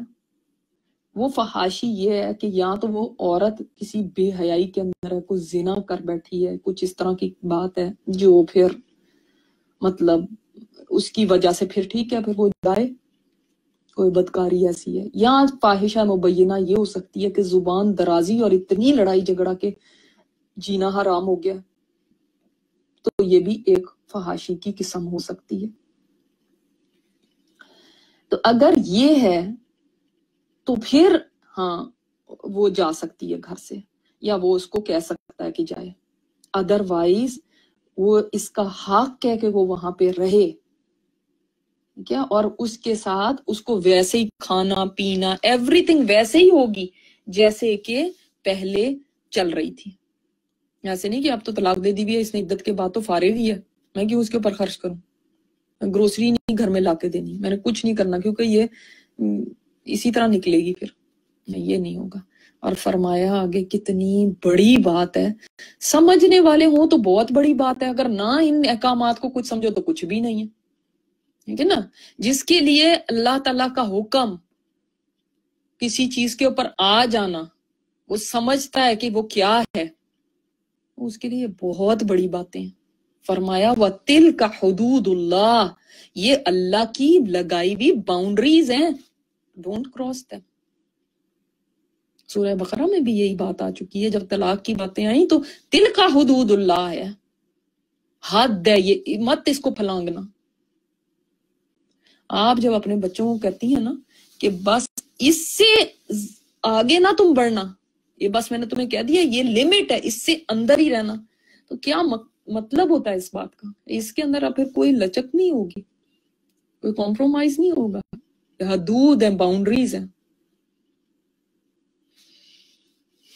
وَمَن يَتَعَدَّ حدود اللہ اور جو کوئی توڑتا ہے اللہ کی حدوں کو کراس کرتا ہے اللہ کی حدوں کو فقد ظالم نفسہ تو اس نے اپنی جان پر ہی ظلم کیا۔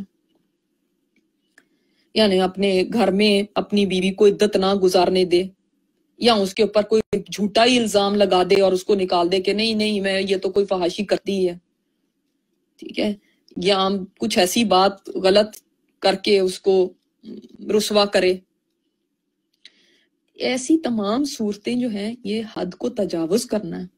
یا جو اللہ تعالیٰ نے فرمایا کہ اس طرح سے طلاق دینی ہے، ویسے نہ دے۔ اپنی طرف اپنی طرف سے ہی حیض کی حالت میں دے دے یا بیوی سے تعلق بھی ہوا ہوا تب بھی دے دے۔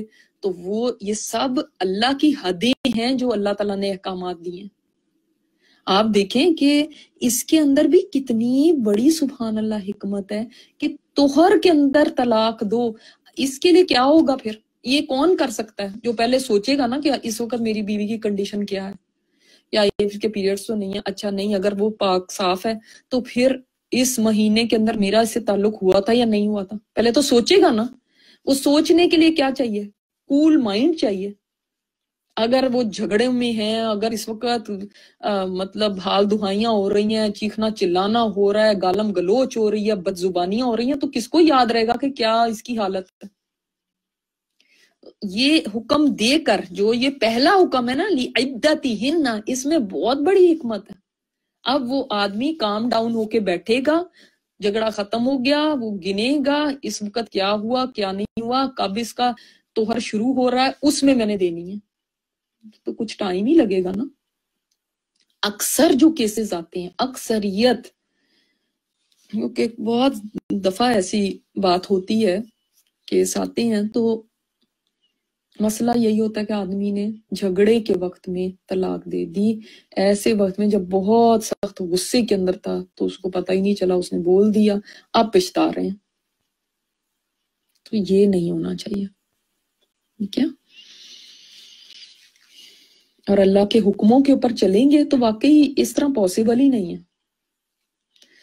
لا تدری لعل اللہ يحدث بعد ذلك امرا۔ دیکھیں اللہ تعالیٰ نے کتنی بڑی حکمت بتا دی۔ تم نہیں جانتے، شاید اللہ تعالیٰ پیدا کر دے کوئی صورت۔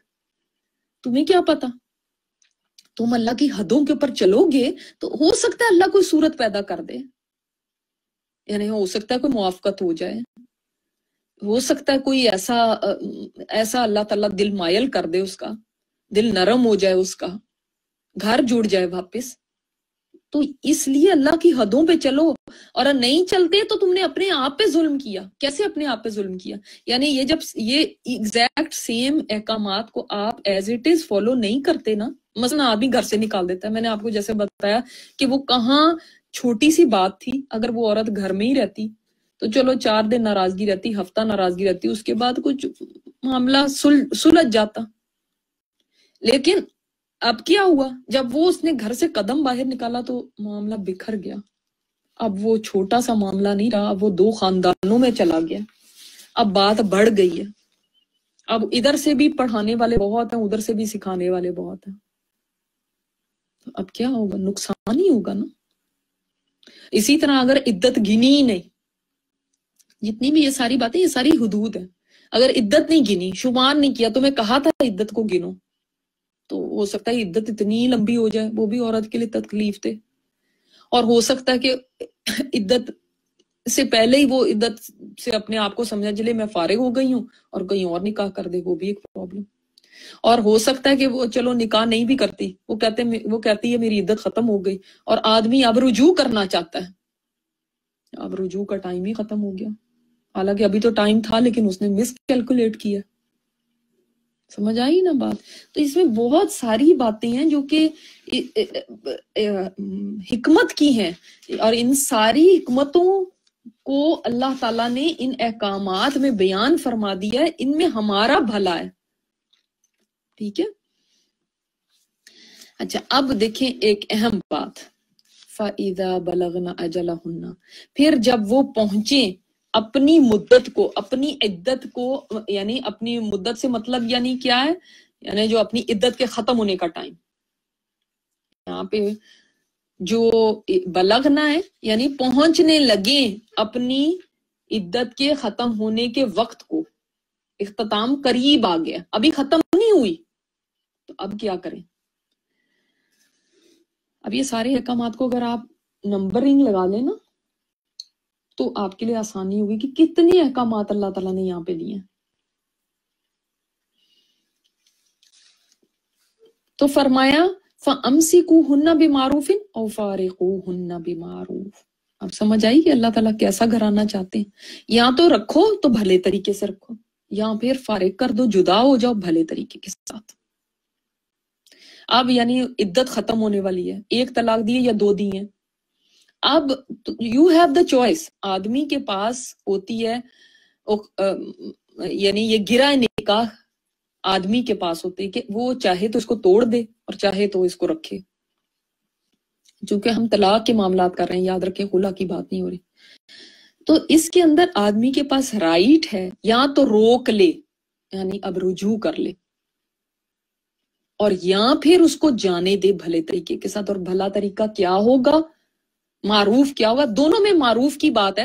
روکنے میں یہ نہیں ہو سکتا کہ روک لے، تنگ کرنے کے لیے کہ اب اس سے اچھی طرح بدلے لوں گا۔ یہاں اسی کو ایک طریقہ بنا لے، طلاق دی، پھر رجوع کیا، پھر طلاق دی، پھر رجوع کیا۔ یہ ایک تماشا ہی بنا لیا۔ جاہلیت میں ایسے لوگ کرتے تھے، اس طرح عورتوں کو بہت تنگ کرتے تھے۔ نہ وہ بیچاریاں شادی والی ہوتی تھی تو نہ طلاق والی ہوتی تھی دیکھیں، اب یہاں پر بھی آپ دیکھیں گے کس کے ساتھ بھلے طریقے کے ساتھ رہنے کا حکم دیا جا رہا ہے؟ عورت کے ساتھ۔ آدمی کو حکم دیا جا رہا ہے کہ تم نے اس کو اچھی طرح رکھنا ہے۔ پھر بھی عورتوں کو شکایت ہے، اسلام ہمیں حقوق نہیں دیتا، ہمیں ہماری آدھی گواہی ہے، ہمارا یہ ہے، ہمارا وہ۔ یہ تو دیکھو کہ اللہ تعالیٰ نے تمہیں حقوق کتنے دیے آدمی کو کتنی جگہ حکم دیا کہ اس کے ساتھ اچھائی کرو، بھلائی کرو۔ تم نے روکنا بھی ہے تو اس کے بعد احسان جتا کے نہیں کہ میں نے تو تمہیں رکھ لیا۔ اگلی دفعہ میں نے نہیں رکھنا۔ یا بات بات پہ کہتے جاؤ۔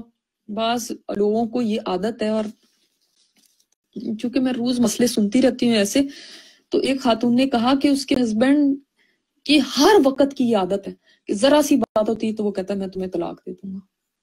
حد تک کہ اس نے یعنی ایک پیپر کے اوپر طلاق کا لکھ کے سگنیچر نہیں بس کیے ہوئے، وہ بھی سنبھال کے رکھا ہوا کہ یعنی ایسے کہ بس کوئی وقت آئے تو میں فوراً اس کے منہ پہ دے ماروں۔ نہیں، اللہ تعالیٰ نے فرمایا امسی بھی معروف پھر بھول جاؤ ان باتوں کو، اچھی طرح سے رہو، زندگی صحیح طریقے سے گزارو۔ حقوق کو فرائض ادا کرو، ایک دوسرے کا خیال کرتے ہوئے، اپنی ذمہ داریاں نبھاتے ہوئے۔ پھر وہ اس غصے کو چھوڑ دو۔ پھر میچور لوگوں کی طرح رہو۔ اور اگر الگ ہونا ہے تو پھر بھی اچھے طریقے کے ساتھ الگ ہو خوبصورتی کے ساتھ اس کو آزاد کرو۔ اس لیے کہ کوئی وقت وہ بھی تھا نا کہ اچھا وقت گزارا تھا آپس میں۔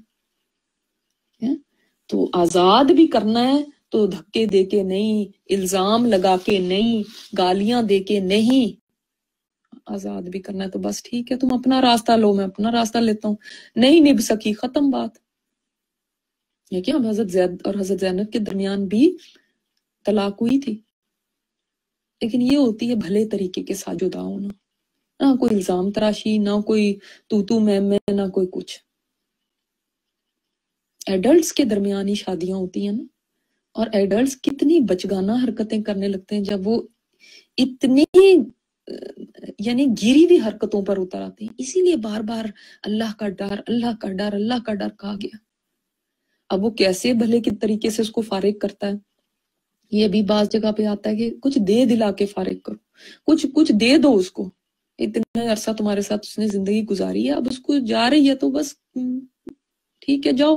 ہماری نہیں۔ اس نہج تک آنے ہی نہ دیں کہ ایسا ہو جائے کہ بس جیسے ایک دوسرے کی شکل نہیں دیکھ سکتے اتنے بڑے دشمن ہیں کہ بس۔ اور دوسرے کی بھی عزتیں اچھالتے پھرے اور یہاں پہ ہمیں یہ بھی پتا چل جاتا ہے کہ اگر نہیں تعلقات صحیح نہیں، زندگی اچھے طریقے سے گزر رہی، تو پھر اچھے طریقے سے ختم کر دو بس۔ یا تو دو ہی چوائسیز ہیں۔ گزارنی ہے تو اچھی طرح، نہیں تو جدا ہو جاؤ اچھی طریقے سے۔ ان دونوں سے تیسری کوئی چوائس نہیں ہے۔ ہر وقت کا ایک یعنی عورت بھی نفسیاتی مریض بن گئی ہے۔ اور آدمی جو ہے وہ ہر وقت ایک یعنی غصے کے اندر بھڑکتا رہتا ہے۔ یہ یہ کوئی صحیح، طریقہ نہیں ہے زندگی گزارنے کا۔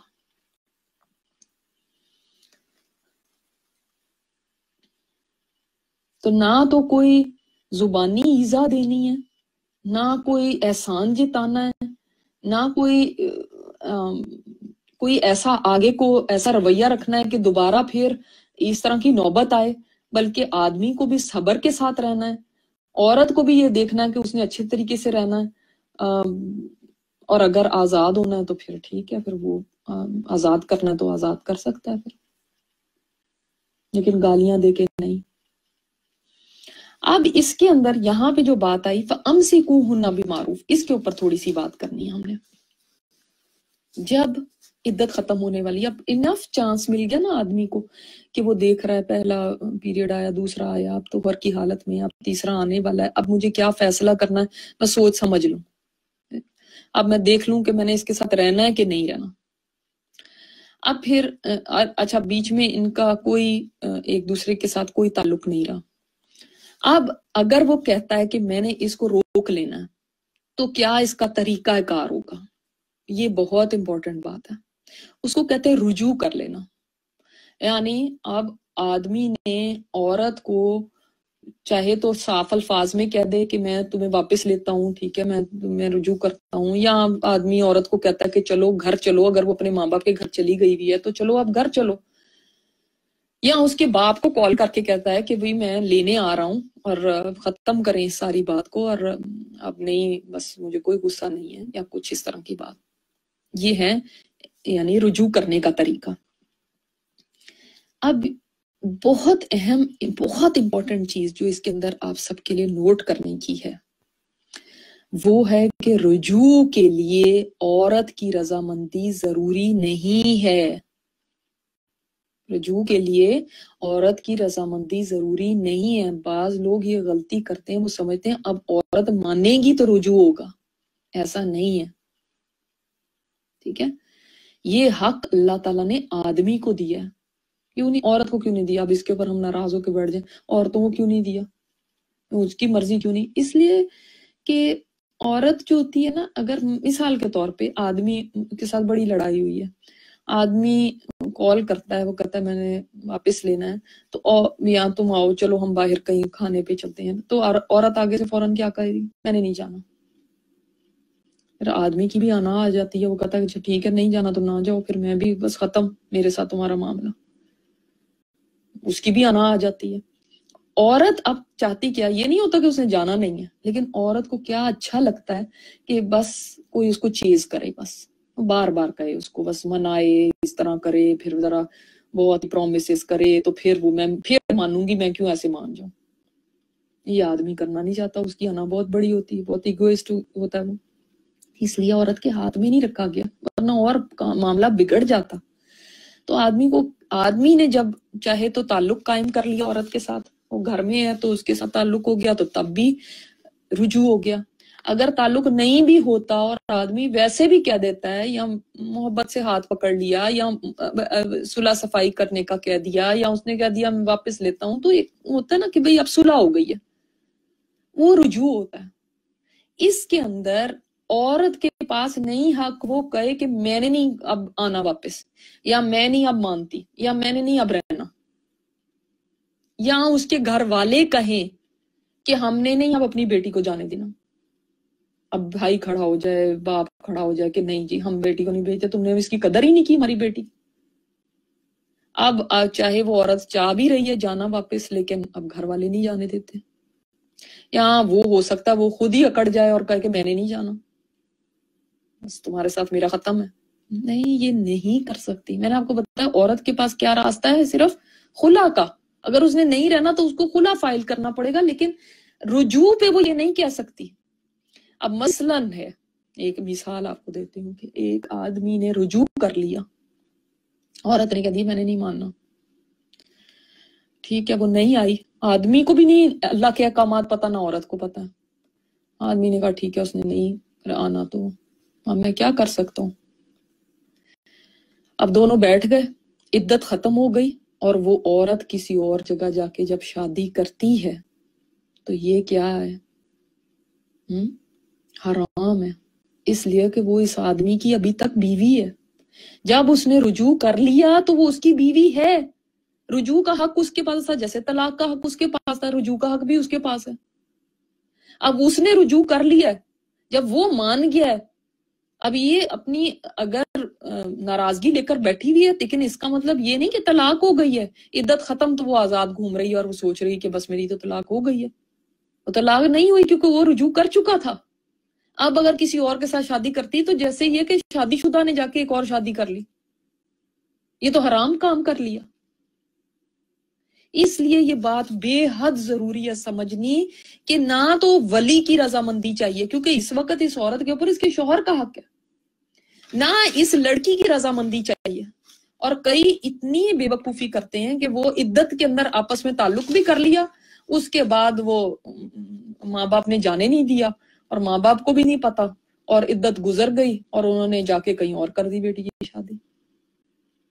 یہ دیکھیں، یہ مسئلے اسی وجہ سے کہ ہم اپنے دین سے بالکل نا واقف ہیں۔ ہمیں پتہ ہی نہیں کہ دین کے احکامات کیا ہیں۔ اور میں بار بار کہہ رہی ہوں آپ کو کہ یہ معمولی باتیں نہیں ہیں، یہ اللہ کی حدود ہیں اور قرآن میں آئے ہیں یہ۔ کون کہے گا میں قرآن کے حکموں کو نہیں مانتا؟ یا مجھے تو پتا ہی نہیں تھا۔ اتنی اتنی بڑی غلطیاں پھر کر دیتے ہیں جو حرام کے زمرے میں ہیں۔ اور سمجھ ہی نہیں ہوتی۔ اور پھر فرمایا، وہ اشہدو زوئی عدل منکم اور گواہ بنا لو دو عدل والوں کو تم میں سے۔ تم میں سے کا مطلب کیا؟ یعنی وہ مسلمان ہوں۔ دو مسلمان گواہ اس کے لیے گواہی کے لیے کر دو۔ کس کے لیے؟ طلاق کے لیے یا رجوع کے لیے؟ زیادہ علماء کا خیال ہے کہ رجوع کے لیے۔ بعض کہتے ہیں کہ نہیں، دونوں کے لیے گواہ بنا لو۔ طلاق بھی دیا تو گواہ بنا لیا کرو۔ رجوع بھی کیا تو گواہ بنا لو کہ میں نے رجوع کر لیا۔ یہ نا عورت یا اس کے گھر والے بعد میں مکر جائیں۔ وہ کہیں کہ نہیں تو اس نے تو کوئی رجوع کیا ہی نہیں تھا۔ نہیں، گواہ بنا لو۔ یہ ایسا نہیں کہ اس کے بغیر رجوع نہیں ہوگا یا اس کے بغیر طلاق نہیں ہوگی۔ وہ تو ہو جائیں گی، لیکن یہ مستحب ہے۔ بہتر ہے کہ ایسا کیا جائے۔ اور واقعی اس کے اندر اتنی بڑی خیر ہے، کیونکہ کئی ایسے مسائل اگین میں کہوں گی کہ اتنی سٹوریز سننے میں آتی ہیں۔ تو بعض خواتین آتی ہیں، وہ کہتی ہیں کہ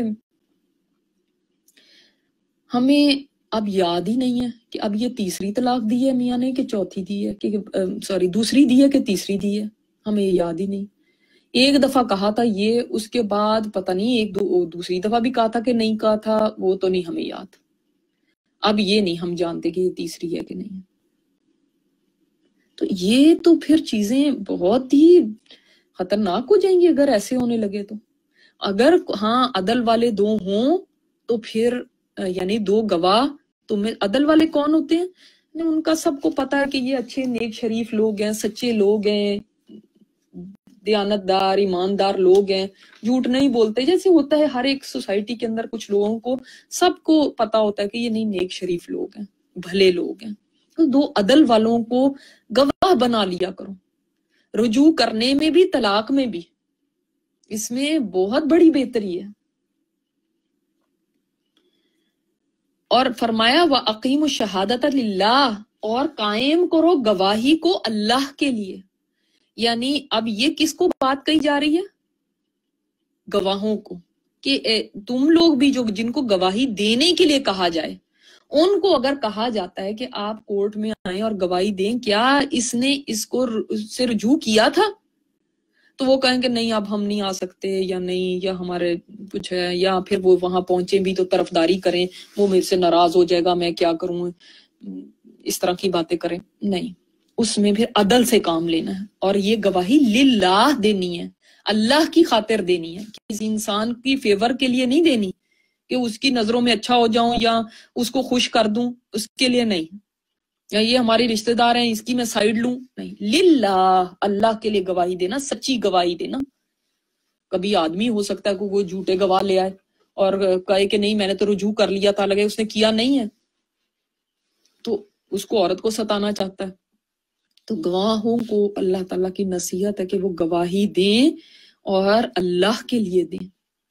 دوسری اس کے اندر کیا بات ہے کہ دیکھیں جب ایسے معاملات ہوتے ہیں نا اور کسی کو گواہی کے لیے بلایا جاتا ہے کہ آج آ جائیں، آپ گواہ بن جائیں اس طرح سے اس نے رجوع کر لیا ہے، تو وہ کہتے ہیں ہمیں کیا ضرورت ہے ان مسئلوں میں پڑھنے کی؟ اکثر لوگ بھاگتے ہیں ایسے مسئلوں سے، کہتے ہیں ہم لوگ برے ہی بنیں گے، کیا فائدہ؟ اور واقعی جو اندر پڑتا ہے وہ برا تو بنتا ہی ہے کیونکہ ظاہر ہے وہ کسی نہ کسی ایک کو تو کہے گا نا کہ دیکھیں آپ اس طرح نہیں کریں یہ صحیح چیز نہیں ہے۔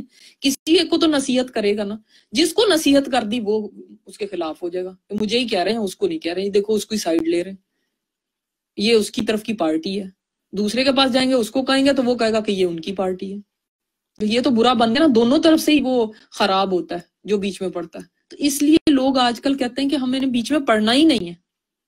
اب اس کے لیے بھی کہا گیا، واقعی مشاہدہ للہ، تم ان لوگوں کی خاطر نہیں، تم اللہ کی خاطر گواہی دو۔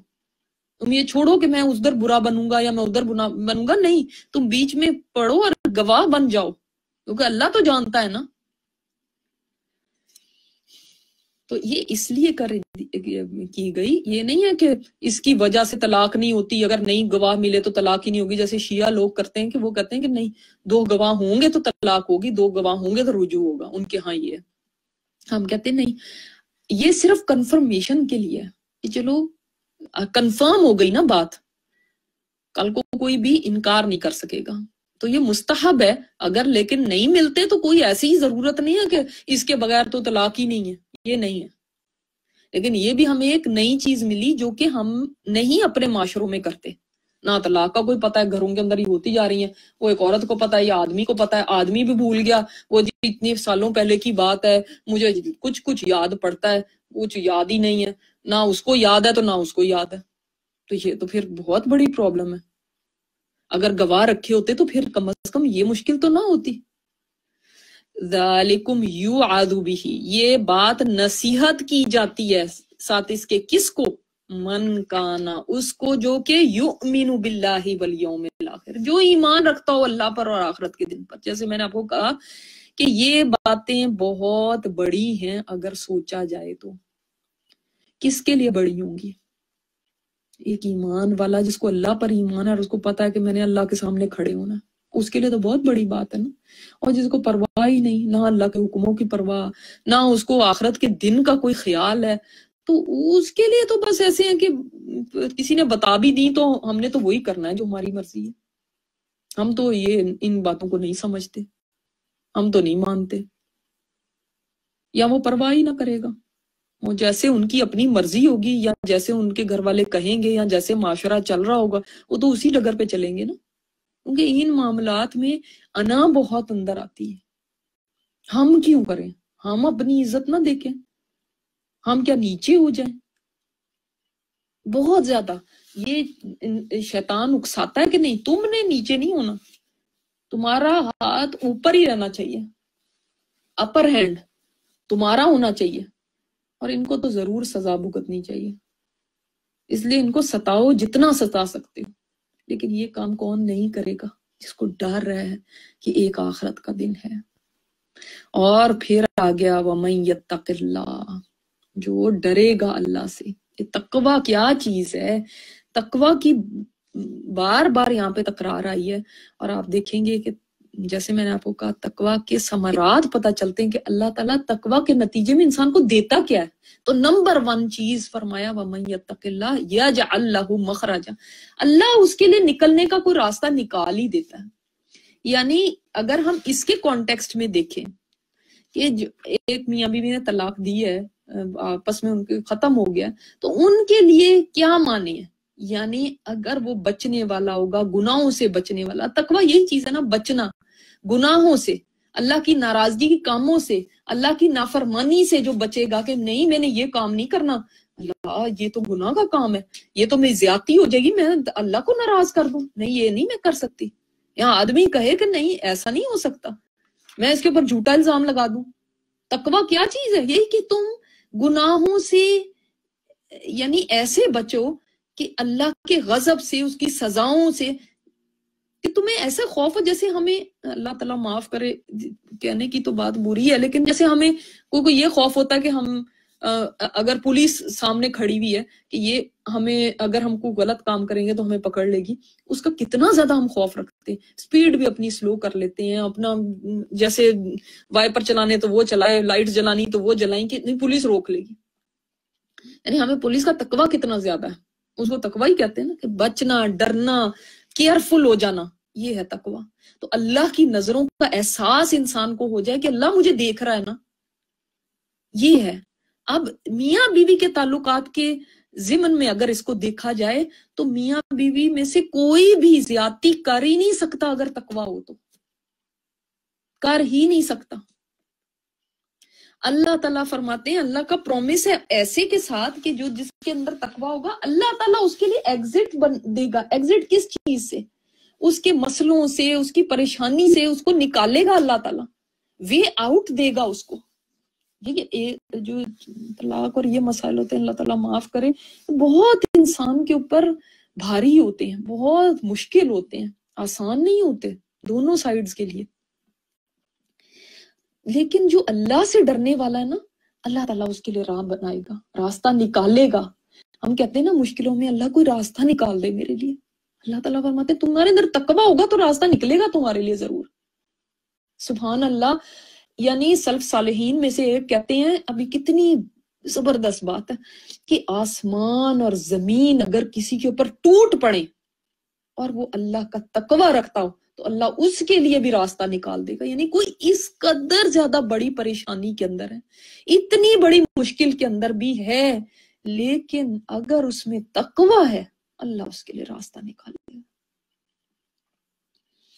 آپ دیکھ لیں، وہ جو غار والے لوگ تھے ان غار والے لوگوں نے جو دعائیں کی تھی وہ جو غار میں پھنس گئے تھے، حدیث میں آتا ہے نا کہ وہ غار میں پھنس گئے تھے، غار غار کا منہ جو ہے وہ بند ہو گیا تھا، پھر اس کے بعد کیا ہوا تھا؟ پھر انہوں نے اپنے اپنے نیکیاں کچھ یاد کی تو غار کا منہ کھلتا چلا گیا اور وہ ان کو راستہ مل گیا۔ اگر آپ نوٹ کریں تو ان کے تینوں کے جو کام تھے، ان کے اندر تقوی آپ کو نظر آئے گا۔ ان کے اندر اللہ کا ڈر اور یہ کہ اللہ کو راضی کرنے کا شوق کہ اللہ تعالیٰ میرے میرے سے راضی ہو جائے، میں یہ نیکی کر لوں۔ یہ اب یہ بات جو ہے نا، یہ پوری بات کہ جو اللہ تعالیٰ سے ڈرتا ہے، اس کے لیے اللہ مخرج بناتا ہے۔ اور وہ یار من حیث لا يحتسب۔ یہ اتنی بڑی بات ہے مسند احمد کی حدیث میں ہے کہ آپ صلی اللہ علیہ وسلم کے پاس ابو ذرا ایک دفعہ بیٹھے ہوئے تھے۔ تو فرماتے ہیں کہ آپ صلی اللہ علیہ وسلم نے اس آیت کی تلاوت فرمائی، پھر فرمایا، اے ابو ذر اگر تمام لوگ صرف اس ایک بات کو لے لینا تو ان کے لیے کافی ہے۔ ایک بات کو۔ پھر آپ نے بار بار اس کی تلاوت شروع کر دی۔ کہ جس میں تقوی ہوگا، اللہ اس کے لیے کوئی راستہ نکالے گا۔ اللہ اس کو وہاں سے رزق دے گا جہاں سے اس کا گمان بھی نہیں۔ یہ یہ اتنی پیاری آیت اور مجھے تو بہت ہی پسند ہے یہ آیت۔ میں نے اس کو اپنے گھر میں لگوایا ہوا ہے دیوار پہ کہ میں جب اس کو دیکھوں مجھے یاد آ جائے کہ اللہ تعالیٰ تقوی والوں کے لیے کیسا راستہ نکالتا ہے؟ سبحان اللہ۔ اللہ کیسے ان کو کہاں سے رزق دے دیتا ہے جہاں سے ان کو گمان بھی نہ ہو؟ سبحان اللہ۔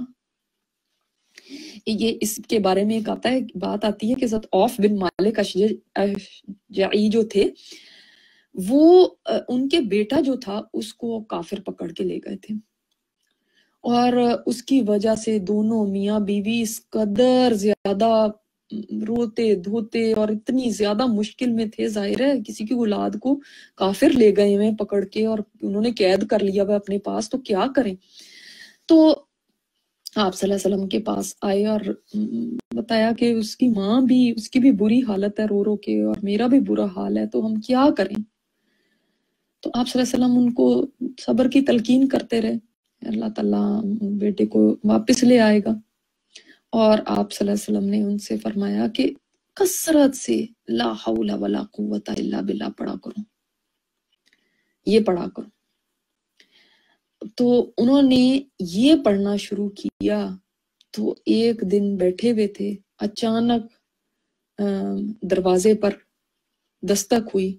دروازہ کھولا تو دیکھا آگے بیٹا کھڑا ہوا۔ اور بیٹا بیٹا ہی نہیں کھڑا ہوا، ساتھ اونٹنی بھی، ہاتھ میں اس کی نکیل پکڑی بھی تو پوچھا کہ تم کیسے آ گئے؟ تو وہ فرماتے ہیں کہ میں بیٹھا ہوا تھا۔ تو بیٹھے بیٹھے ہی کہ میری قید کھل گئی اور میں وہاں سے بھاگ نکلا۔ اور ان لوگوں کی ایک اونٹنی میرے ہاتھ لگ گئی جس پہ سوار ہو کے میں آیا ہوں۔ اور پھر راستے میں بھی ان کے اونٹوں کے ریوڑ مل گئے۔ میں ان کو بھی ساتھ ہانک کے لے آیا ہوں۔ اور وہ لوگ میرے پیچھے دوڑے، لیکن میں کسی کے ہاتھ نہیں لگا۔ سیدھے اپنے گھر پہنچ گیا۔ سبحان اللہ۔ اور ماں بھی حیران اور باپ بھی کہ کہاں یہ تو قید و بند کی مصیبتیں جھیل رہا تھا، اب کہاں سے یہ آگیا اور ساتھ اپنے اتنا مال بھی لے آیا۔ ان کا ساری، ان کا گھر بھر گیا اونٹوں سے۔ تو اللہ تعالیٰ اس طرح راستے نکالتا ہے، جو اللہ سے ڈرتا ہے۔ جو اللہ تعالیٰ کا تقوی اختیار کرتا ہے کہ بس میں نے کوئی غلط کام نہیں کرنا، یہ سارا معاملہ ٹھیک ہے، جو بھی ہوا ہے میں نہیں، اس کے اندر میں نے نہیں کچھ غلط کرنا۔ وہ زیادتی کریں تو کریں۔ انسان کہتا ہے وہ بھی تو ایسے کر رہے ہیں۔ تو اگر ہم نے کر لیا تو کیا ہو گیا؟ لوگ منصوبے سوچتے ہیں پلاننگز کرتے ہیں، کس طرح سے ہم ان کو ستائیں؟ اب ان کو ستانے کو اور کیا راستہ ہمارے پاس ہے؟ تو ہمارے ہاتھ میں جو چیز ہے اس کے لیے ستائیں، کبھی بچوں کے ذریعے ستائیں، کبھی کسی اور طرح سے ستائیں، کبھی نان نفقے کے اس کے اندر ستائیں، کبھی نہیں کسی طرح کسی طرح ہم ان کو ستاتے رہے لیکن اللہ تعالیٰ نے فرمایا نہیں تکوا تکوا اپنی دشمنی پہ نہ اتر آؤں یہ دیکھو کہ اللہ کو میں نے جواب دینا میرا وہ میرا اللہ تو مجھے دیکھ رہا نا۔ میں نے اپنا حساب کتاب اس کو دینا میرا ان کے ساتھ کیا واسطہ؟ اسی طرح آپ کو پتا ہے کہ جو حدیث میں آتا ہے مسند احمد کی کہ جو استغفار بہت کرتا ہے نا، اللہ تعالیٰ اس کو بھی ہر غم سے نجات دیتا ہے، ہر تنگی سے اس کو نکال دیتا ہے اور ایسی جگہ سے رزق دیتا ہے جہاں سے اس کو وہم و گمان بھی نہیں ہوتا۔ تو یعنی جن کو رزق کی تنگیاں ہیں، وہ بھی کیا؟ تقوی اختیار کریں۔ تم سیدھے ہو جاؤ، اللہ تمہارے کام سیدھے کر دے گا۔ جن کی پریشانیاں ہیں کوئی ایسی مسلوں میں پھنسے ہوئے ہیں کہتے کوئی وے آؤٹ نکلے، کوئی راستہ نظر نہیں آ رہا۔ بعض دفعہ ایسے مسائل ہوتے ہیں، انسان کو لگتا ہے اندھیرا ہے اور یہاں سے نکلنے کا تو کوئی راستہ ہے ہی نہیں، میں کیسے نکلوں گی یہاں سے؟ اللہ تم مجھے کوئی نکلنے کا راستہ دے۔ یہ آیت پڑھیں۔ وَمَن يَتَّقِ اللَّهَ يَجْعَلْ مَخْرَجًا۔ اس پہ بلیو کریں، یہ قرآن کی آیت ہے۔ یہ اللہ تعالیٰ نے خود فرمایا ہے۔ اور آپ تقوی اختیار کریں۔ اللہ تعالیٰ آپ کے لیے مخرج نکال دے گا۔ تو اگر طلاق والوں کے معاملات کو دیکھا جائے تو جتنے بھی احکامات آئے ہیں، ان کے مطابق طلاق دے، عدت کو بھی وہ گنے، اس کے بعد اسی طرح سے وہ گھر سے بھی نہ نکالے، کوئی اس طرح کی چیز معروف طریقے سے رکھنا تو معروف رکھے، ورنہ نکالے بھی تو معروف طریقے سے نکالے، دونوں میں معروف کا خیال رکھے۔ تو دیکھیں، اللہ تعالیٰ اس کے لیے کوئی مخرج نکال دے گا، پھر کیا ہوگا؟ اللہ اس کو کوئی نیا ساتھی دے دے گا جو بہتر ہوگا اس سے، اس عورت کو بھی اللہ کوئی دے دے گا۔ لیکن تقوی دونوں میں ہو۔ دونوں ہی اللہ سے ڈرنے والے ہوں۔ تو اللہ جو ڈرے گا، اللہ تعالیٰ اس کو دے گا۔ آپ کو پتا ہے نا کہ دیکھیں، یہ بھی چیز کہ رزق اللہ تعالیٰ وہاں سے دے، جہاں سے انسان کا گمان ہو، واقعی اللہ تعالیٰ بعض دفعہ ایسی جگہ سے رزق دیتا ہے جہاں سے انسان کو اس کی سوچ بھی نہیں ہوتی۔ اور کون سی چیز ہے جو رزق سے انسان کو محروم کرتی ہے، روزی سے محروم کرتی ہے؟ پتا ہے آپ کو؟ گناہ۔ آپ صلی اللہ علیہ وسلم نے فرمایا، گناہوں کی وجہ سے انسان اپنی روزی سے محروم ہو جاتا ہے۔ تو انسان گناہوں کو چھوڑ دے تو اللہ تعالیٰ اس کی روزی اس کو لوٹا دے گا۔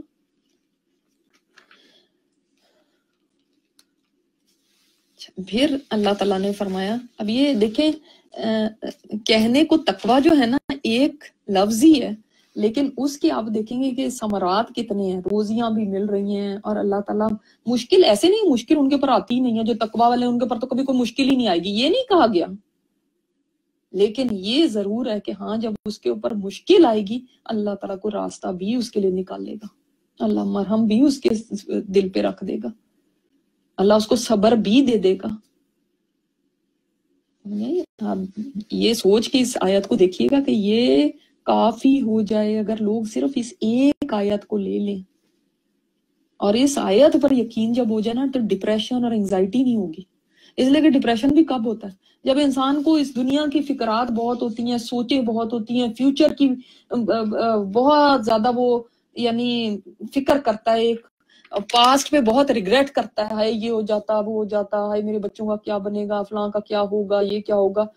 نہیں، اگر انسان اللہ کا تقوی اختیار کرے گا نا، تو اس کی اس کی اللہ تعالیٰ اس کے لیے راستے نکالے گا۔ اور جو اگلی بھی بات اسی سے متعلق ہے، وَمَن يَتَوَكَّلْ عَلَى اللَّهِ فَهُوَ حَسْبُ جو اللہ کے اوپر توکل کرے گا، اللہ اس کے لیے کافی ہو جائے گا۔ توکل کے اوپر کہ ہم نے کتنی بات کی تھی لاسٹ ٹائم نا۔ توکل یہ کہ میرے پاس اسباب کتنے بھی ہیں، میں میرے پاس یعنی میرے پاس بڑے بڑے کانٹیکٹس بھی ہیں میرے پاس مال بھی ہے، بڑے بڑے ڈاکٹر بھی میرے پاس ہیں جیسا چاہوں علاج کراؤں۔ لیکن مجھے کیا یقین ہو کہ میں بیمار ہوتی ہوں؟ میرے اللہ نے مجھے شفا دینی ہے۔ نہ تو یہ بڑے بڑے ڈاکٹروں کا میرے ساتھ ہونا، میرے بینک میں اتنے پیسے ہیں، میں ہر ایک بڑا سے بڑا علاج اور بڑے سے بڑے ہسپتال میں جا سکتی ہوں۔ یہ چیزیں نہیں مجھے شفا دیں گی۔ یہ دوا مجھے شفا نہیں دے گی میں پی تو رہی ہوں، لیکن وہ ہماری پہلے کے لوگ نا جب دوائی دینے لگتے تھے تو کہتے تھے اللہ شافی، اللہ کافی۔ کہتے تھے نا اچھا وہ کتنی پیاری بات تھی اگر آپ سمجھیں تو۔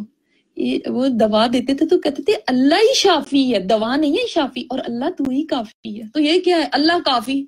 لیکن میں نے کہا وہ یعنی ان پڑھ بھی لوگ ہوتے تھے نا، نانیاں، دادیاں یا وہ۔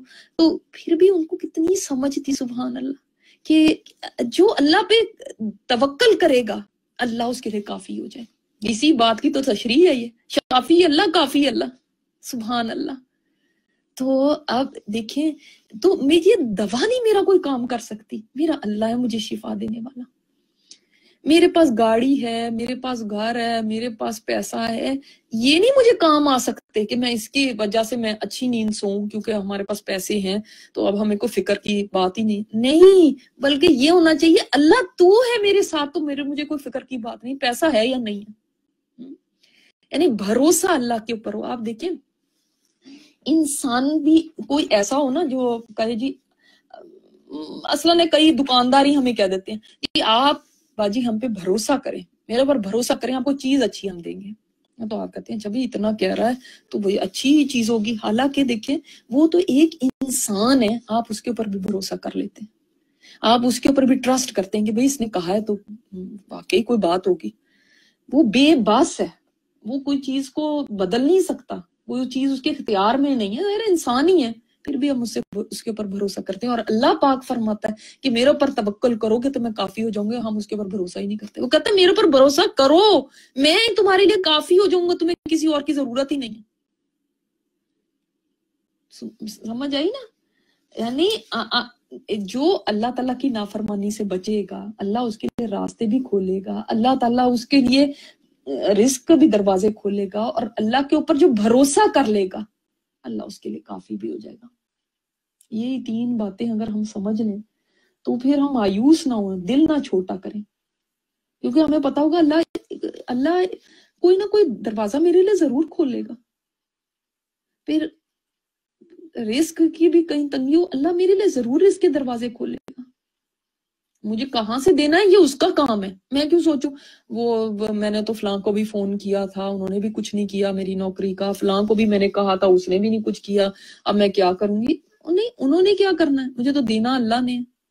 وہ یہاں سے دے، وہاں سے دے یا کہیں اور تیسری طرف سے دے؟ اور آپ دیکھتے ہیں، سبحان اللہ، ایسی ایسی سٹوریز ہیں۔ کسی کا، میں اب اس کمپنی کا نام نہیں لوں گی، سب کو پتا ہے اس کا کہ وہ ایک بندہ ایک کنٹری سے آیا، باہر کے کنٹری سے، مسلمان۔ وہ یہاں پہ ایک میکینک تھا اور وہاں سے اس نے کسی سے قرض لیا اور اس نے ایک چھوٹا سا اپنا یہ کام شروع کیا کہ لوگوں کے گھروں میں پھول اور فروٹ اور یہ دینے شروع کیے۔ پھر اس کے بعد آہستہ آہستہ اس کا بڑھتا گیا بڑھتا گیا تو اس کے اور کچھ ترقی ہوئی، اور کچھ ترقی ہوئی۔ بڑھتے بڑھتے آج یہ حال ہے کہ ہر سٹیٹ میں اس کی سٹورز ہیں اور بڑی مہنگی اس کی بکتی ہیں چیزیں۔ تو اب دوسرا کہ ہائی، اس نے تو یہ لے لیا۔ ہاں ہم بھی یہی شروع کرتے تو ہمیں کیوں نہ آئیڈیا آیا؟ نہیں، اللہ نے اس کو دینا تھا۔ اس کے لیے اللہ نے راستہ کھولا۔ اللہ وہاں سے راستے کھولتا ہے، اس کو خود بھی نہیں پتا ہوتا۔ میرے لیے کہاں سے راستہ کھل جانا؟ ہے وہ نہیں جانتا ہوتا اس نے کوئی پلاننگ نہیں ہوئی ہوتی، میں اتنا بڑا میرا کاروبار بن جائے گا۔ نہیں بس اللہ نے دینا تو اللہ کہاں سے دیتا ہے؟ وہ اس کا کام ہے۔ کس دروازے کو کسی کے لیے کھول دے، وہ اللہ تعالیٰ کو پتا ہے۔ اور ہم اپنی زندگیوں میں بھی کبھی غور کریں، کوئی نہ کوئی وقت ایسا ضرور ہوگا جب ایک ڈالر بھی ہمارے لیے بڑی چیز ہوگی۔ پھر اللہ تعالیٰ نے، دیکھیں پھر آگے آگے بہتری کی۔ بعض لوگ شاید اس وقت ایسے دور سے گزر رہے ہیں کہ ان کو اس وقت تنگی ہو، لیکن اگر تقوی اختیار کیا تو اللہ تعالیٰ دے گا۔ مگر شرط یہ یاد رکھے کہ تم بس اللہ کی نافرمانی سے بچتے رہو۔ اللہ کو راضی کرنے کی کوششوں میں لگے رہو۔ شیطان سکھاتا کہ کیا ہے؟ آئے، اگر تم نے یہی کرنا ہے نا، تو تم تو سروائیو بھی نہیں کر سکتے۔ مر جاؤ گے، تمہارا بنے گا کیا؟ تم تو تباہ ہو جاؤ گے میں نے یہ بھی نہیں کرنا میں نے اس سے بھی بچنا ہے میں نے اس سے بھی تم تو بس بچتے ہی رہو گے۔ دیکھو ساری دنیا کر رہی ہے اتنی آگے پہنچ گئی ہے۔ تم اپنے تمہیں دین کا ہی بخار چڑھا ہوا تمہیں۔ نہیں۔ یہ شیطان سکھاتا ہے وہ اپنا داؤ چلاتا ہے۔ تم نے تقوی کو نہیں چھوڑنا۔ یوسف علیہ السلام کو دیکھے بغیر قصور کے جیل میں قید کر دیے گئے۔ حالانکہ کوئی ان کا قصور نہیں تھا۔ کیا وہ اللہ کے پیارے نہیں تھے؟ کتنی بڑی ان کے اوپر مصیبت آئی۔ قید ہونا جیل کے اندر ہونا آسان بات ہے کوئی۔ ان کے خود فرمان ہے کہ فرماتے ہیں، زندوں کا قبرستان ہے جیل۔ زندوں کا۔ تو دیکھیں اللہ تعالیٰ نے ان کو پھر کیسے وہاں سے نکالا۔ اللہ جعلی فرجم و مخرجم و رزقنی من حیث لا یستذب کہ وہی والی دعا ہی ہے نا کہ اللہ تعالیٰ میرے لیے کوئی راستہ نکال۔ اور اللہ نے ان کو ان کو سنی اور اللہ نے ان کو عزت بھی دی، قید سے بھی رہائی دی اور حاکم بھی بنا دیا۔ تو انسان اسی آیت کے ذریعے سے ہی اللہ سے مانگے کہ اللہ میرے لیے بھی کوئی راستہ نکال، اللہ مجھے بھی وہاں سے دے جہاں سے میرا گمان بھی نہ ہو۔ اور مایوس نہ کبھی انسان ہو کہ انسان کو شیطان نہ مایوسی کے اندھیروں میں دھکیلتا ہے۔ تو مومن جس کا یہ ایمان ہو کہ میرا رب تو ایسا ہے ایسا ہے کہ ان اللہ بالغ امری ہی، وہ تو پہنچنے والے اپنے حکم کو۔ کیا مطلب ہے؟ یعنی وہ جس چیز کا فیصلہ کر لے، وہ اس کو کر کے رہتا ہے، اس کو کوئی روکنے والا ہی نہیں۔ اس سے کوئی پوچھنے والا نہیں، اس کو کسی کی اجازت نہیں لینی۔ جو کرنا چاہتا ہے، کرتا ہے۔ وہ کمزور نہیں ہے۔ اس کا حکم پورا پورا چلتا ہے۔ میں نے آپ کو کہا کہ آپ ایک آدمی پہ بھروسہ کر لیتے، کیونکہ اس نے کہا جی باجی، میرے پر یقین کریں، میری بات کا بس بھروسہ کریں آپ میرے پر بس میرے پر آپ چھوڑ دیں، پھر آپ دیکھیں کہ کتنا اچھا میں کام کرتا ہوں۔ تو آپ اس پہ یقین کر لیتے ہیں اطمینان سے بیٹھ جاتے ہیں کہ نہیں نہیں ہاں جی وہ بڑی شاندار دکان، اس کی ریپوٹیشن بھی اچھی ہے اور اس نے بڑا یقین دلایا۔ اس کے اوپر آپ بھروسہ کر دیتے ہیں وہ انسان ہے۔ اور وہ رب العالمین آپ کو فرماتا ہے، میرے پر بھروسہ کرو گے میں تمہارے کام صحیح کر دوں گا، میں کافی ہو جاؤں گا۔ اور جس کے ساتھ اللہ ہو جائے، اس کو کسی اور کی ضرورت ہے؟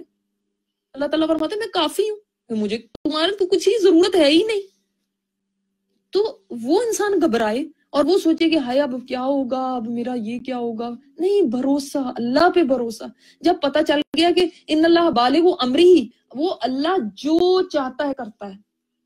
یا تو یہ ہونا کہ بھائی اس چیز پہ یقین نہیں ہے۔ اللہ معاف کرے۔ یہاں پتہ نہیں میرا پتہ نہیں خدا کچھ کر بھی سکتا ہے یا نہیں۔ اللہ معاف کرے۔ نہیں، اگر انسان یہ کہتا کہ وہ اللہ کلی شین قدیر ہے، تو پھر مایوسی کس بات کی؟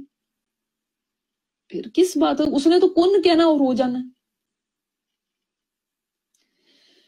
تو جو اللہ سے ڈرتا رہے گا پھر دیکھیں کہ اللہ تعالیٰ اس کے لیے کیا کیا دروازے کھولتا ہے اور جو اللہ کے اوپر توکل کرے گا یعنی اپنی کوشش پوری کرنے کے بعد یاد رکھے ہاتھ پہ ہاتھ دھرنے سے نہیں، اپنی طور پہ آپ نے گئے بھی، ڈاکٹر کو بھی علاج بھی کرایا، دوا بھی لی، لائے بھی، کھائی بھی، پھر اس کے بعد کہا کہ اللہ میری نہ دوا سے نہ علاج سے نہیں، کچھ ہونا۔ اللہ تعالیٰ تو نے ہی مجھے دینا ہے، شفا تو نے دینی ہے۔ میں نے یہاں سے وہاں تک جانا ہے تو ہاں اوپر تک ہی جانا ہے۔ میں نے اپنے گھر میں ہی اوپر تک جانا ہے۔ لیکن اللہ، میں نہیں جا سکتی۔ میں نے یہاں تک دوسری دوسری گلی میں جانا ہے۔ اللہ، میں نہیں جا سکتی۔ انشاءاللہ، اگر اللہ تو نے چاہا تو میں جا سکتی۔ میرے اپنے بس میں کچھ بھی نہیں ہے۔ اللہ میرا، جب انسان یہ کہتا ہے نا تو وہ بیسیکلی کیا کہہ رہا ہے؟ جو میں نے آپ کو بھی بات بتائی ہے۔ لا حول ولا قوت الا باللہ۔ اصل میں وہ یہ کہہ رہا ہوتا ہے کہ اللہ میری کوئی قوت نہیں، میری کوئی طاقت نہیں۔ اللہ ساری قوت اور طاقت تو تیری ہے۔ تو ہی چاہے گا تو ہو سکتا ہے۔ میرے کرنے سے نہیں کچھ ہوتا۔ آئے، اگر کسی انسان کے اوپر بھی کوئی توکل کرتا ہے تو وہ انسان کہتا ہے، نہیں، میں نے اس کا مان رکھنا اس نے میرے اوپر بھروسہ کر کے اس طرح سے کہا ہے مجھے۔ تو اللہ کیا نہیں بھروسے کو پورا کرے گا؟ آپ صلی اللہ علیہ وسلم نے فرمایا نا کہ اگر تم اللہ پر اس طرح توکل کرو جس طرح توکل کرنے کا حق کیا جیسے کرنا چاہیے تو وہ بھی تمہیں اس طرح سے رزق دے گا جس طرح پرندوں کو رزق دیتا ہے۔ وہ بھوکے صبح کو نکلتے ہیں اور شام کو پیٹ بھر کے آتے ہیں۔ ان, ان کے پاس تو کوئی سٹور نہیں کیا ہوا فریج میں۔ ان کو لیکن پتا ہے اللہ نے ہمیں کھلانا۔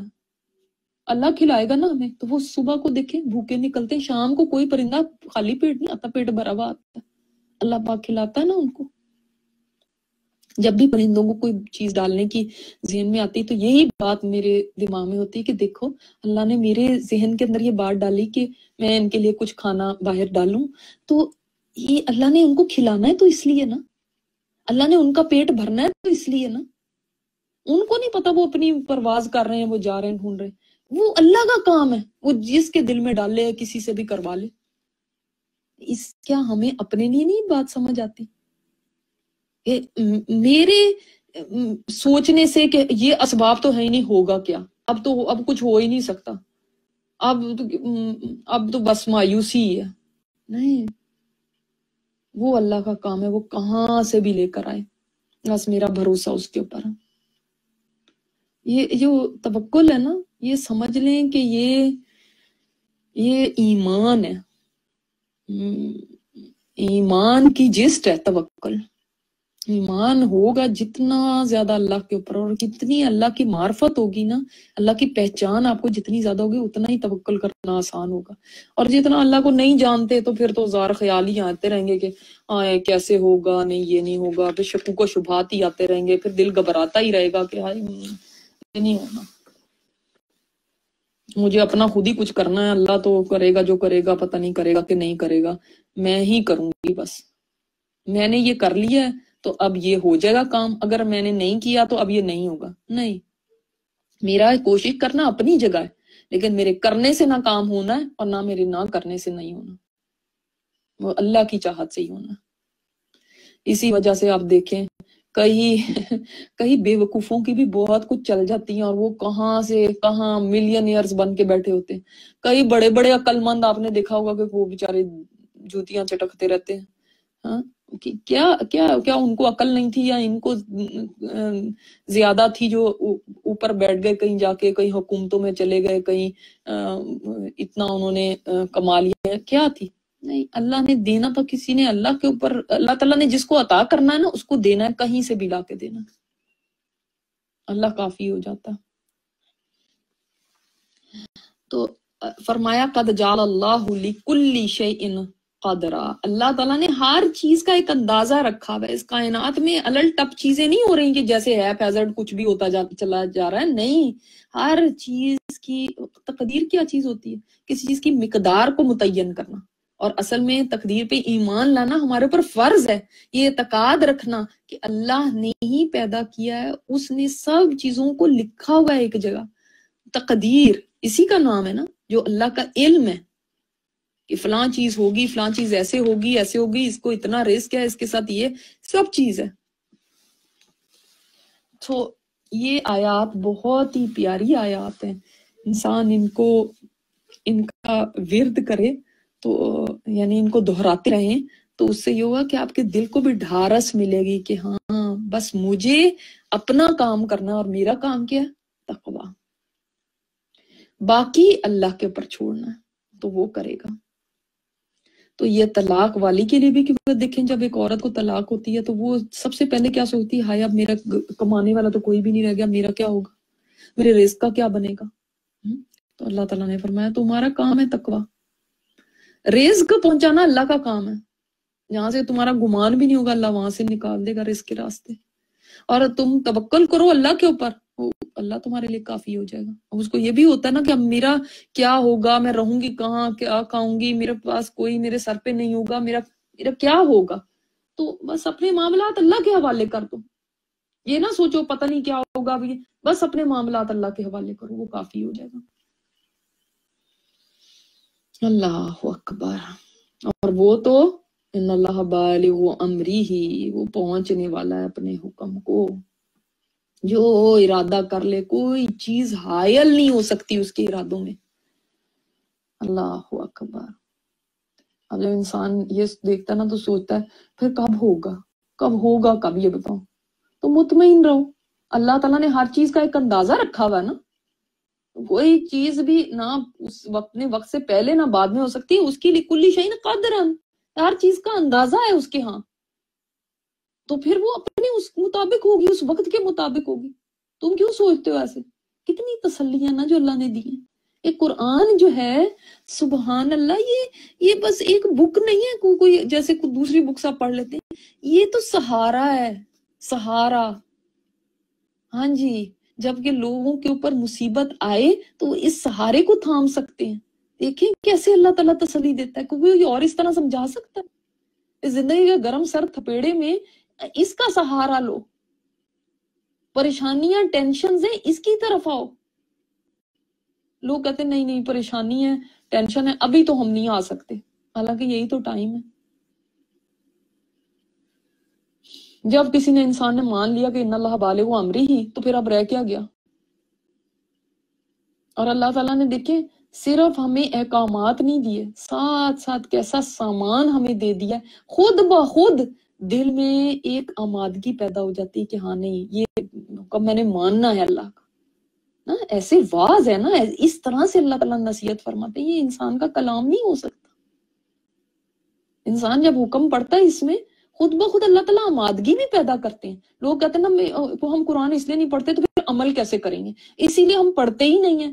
تو وہ قرآن کا کام ہے، وہ دل کو بھی آمادہ کرے گا، وہ دل کو بھی نرم کر دے گا۔ وہ ایسا کر دے گا کہ عمل کرنا آسان ہو جائے گا۔ اسی لیے جب لوگ قرآن کو چھوڑ دیتے ہیں، تو احکامات تو یاد ہوتے ہیں۔ وہ تو اب ایک دفعہ پڑھ لی ہے تو یاد رہیں گے، لیکن یہ واض و نصیحت ان کو یاد نہیں رہتی۔ دل سخت ہو جاتے ہیں پھر۔ اور یہ ضروری نہیں ہوتا کہ اگر آپ کو کوئی حکم پتا ہے تو آپ اس کے اوپر ضرور عمل کرنے والے بھی ہوں۔ یہ نہیں ضروری ہوتا۔ کس کو نہیں پتا ہے کہ سچ بولنا پھر بھی ہم جھوٹ بولتے ہیں نا۔ کس کو نہیں پتا کہ ایمانداری کے ساتھ رہنا، پھر بھی بے ایمانیاں کرتے ہیں۔ احکامات سب کو پتا ہے۔ اسی لیے لوگ کہتے ہیں نا، کون سی چیز ہمیں نہیں پتا؟ جی سب پتا ہے ہمیں۔ آپ ہمیں کیا سکھائیں گے؟ کیا بتائیں گے؟ تو بات یہی ہے کہ دیکھیں، پتا واقعی سب کو ہے۔ خیر اور شعر اللہ نے انسان کے اندر ڈالی ہوئی ہے، نیکی اور بھلائی کی پہچان رکھی ہوئی ہے۔ پتا ہے کہ یہ صحیح چیز ہے۔ لیکن آمادگی دل کی ہونا یہ الگ بات ہے کہ عمل کرنے پہ دل آمادہ ہو جائے کہ میں نے اب یہ مان لینا میں نے یہ کرنا ہے، وہ آمادگی کہاں سے لاؤ گے؟ وہ پتا ہونے سے نہیں آتی، وہ قرآن کو سیکھنے سے آتی ہے۔ اس وجہ سے یہ تو میں کہہ رہی ہوں کہ جب قرآن چھوڑ دیتے ہیں تو چاہے ایک دفعہ پڑھا بھی ہے۔ وہ اس وقت دل آمادہ تھا، اس وقت کر لیا۔ اب قرآن چھوڑ دیا تو اب آہستہ آہستہ دل پہ گرد پڑتی ہی گئی اور اس کے بعد اب پتا بھی ہے کہ یہ چیزیں غلط ہیں۔ لیکن پھر واپس اسی ٹریک پہ چلے گئے، شیطان تو ساتھ لگا ہوا اسی وجہ سے شیطان کے واروں سے بچنے کے لیے اس قرآن کو مضبوطی سے تھامو۔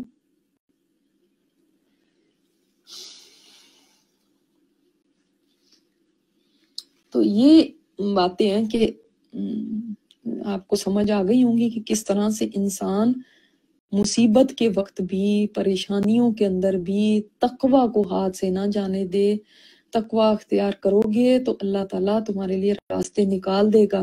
اور مصیبتیں تو آنی ہیں، اس دنیا میں بادشاہوں کے پر بھی آتی ہیں فقیروں پہ بھی آتی ہیں۔ ایسا نہیں ہے کہ کسی کے پاس پیسہ بہت ہے تو اس کے پاس مصیبت نہیں آتی، وہ بھی مصیبتوں کے اندر ہوتے وہ بھی خوش نہیں ہوتے، ان کے بھی دل مطمئن نہیں ہوتے۔ وہ بھی سکون میں نہیں ہوتے۔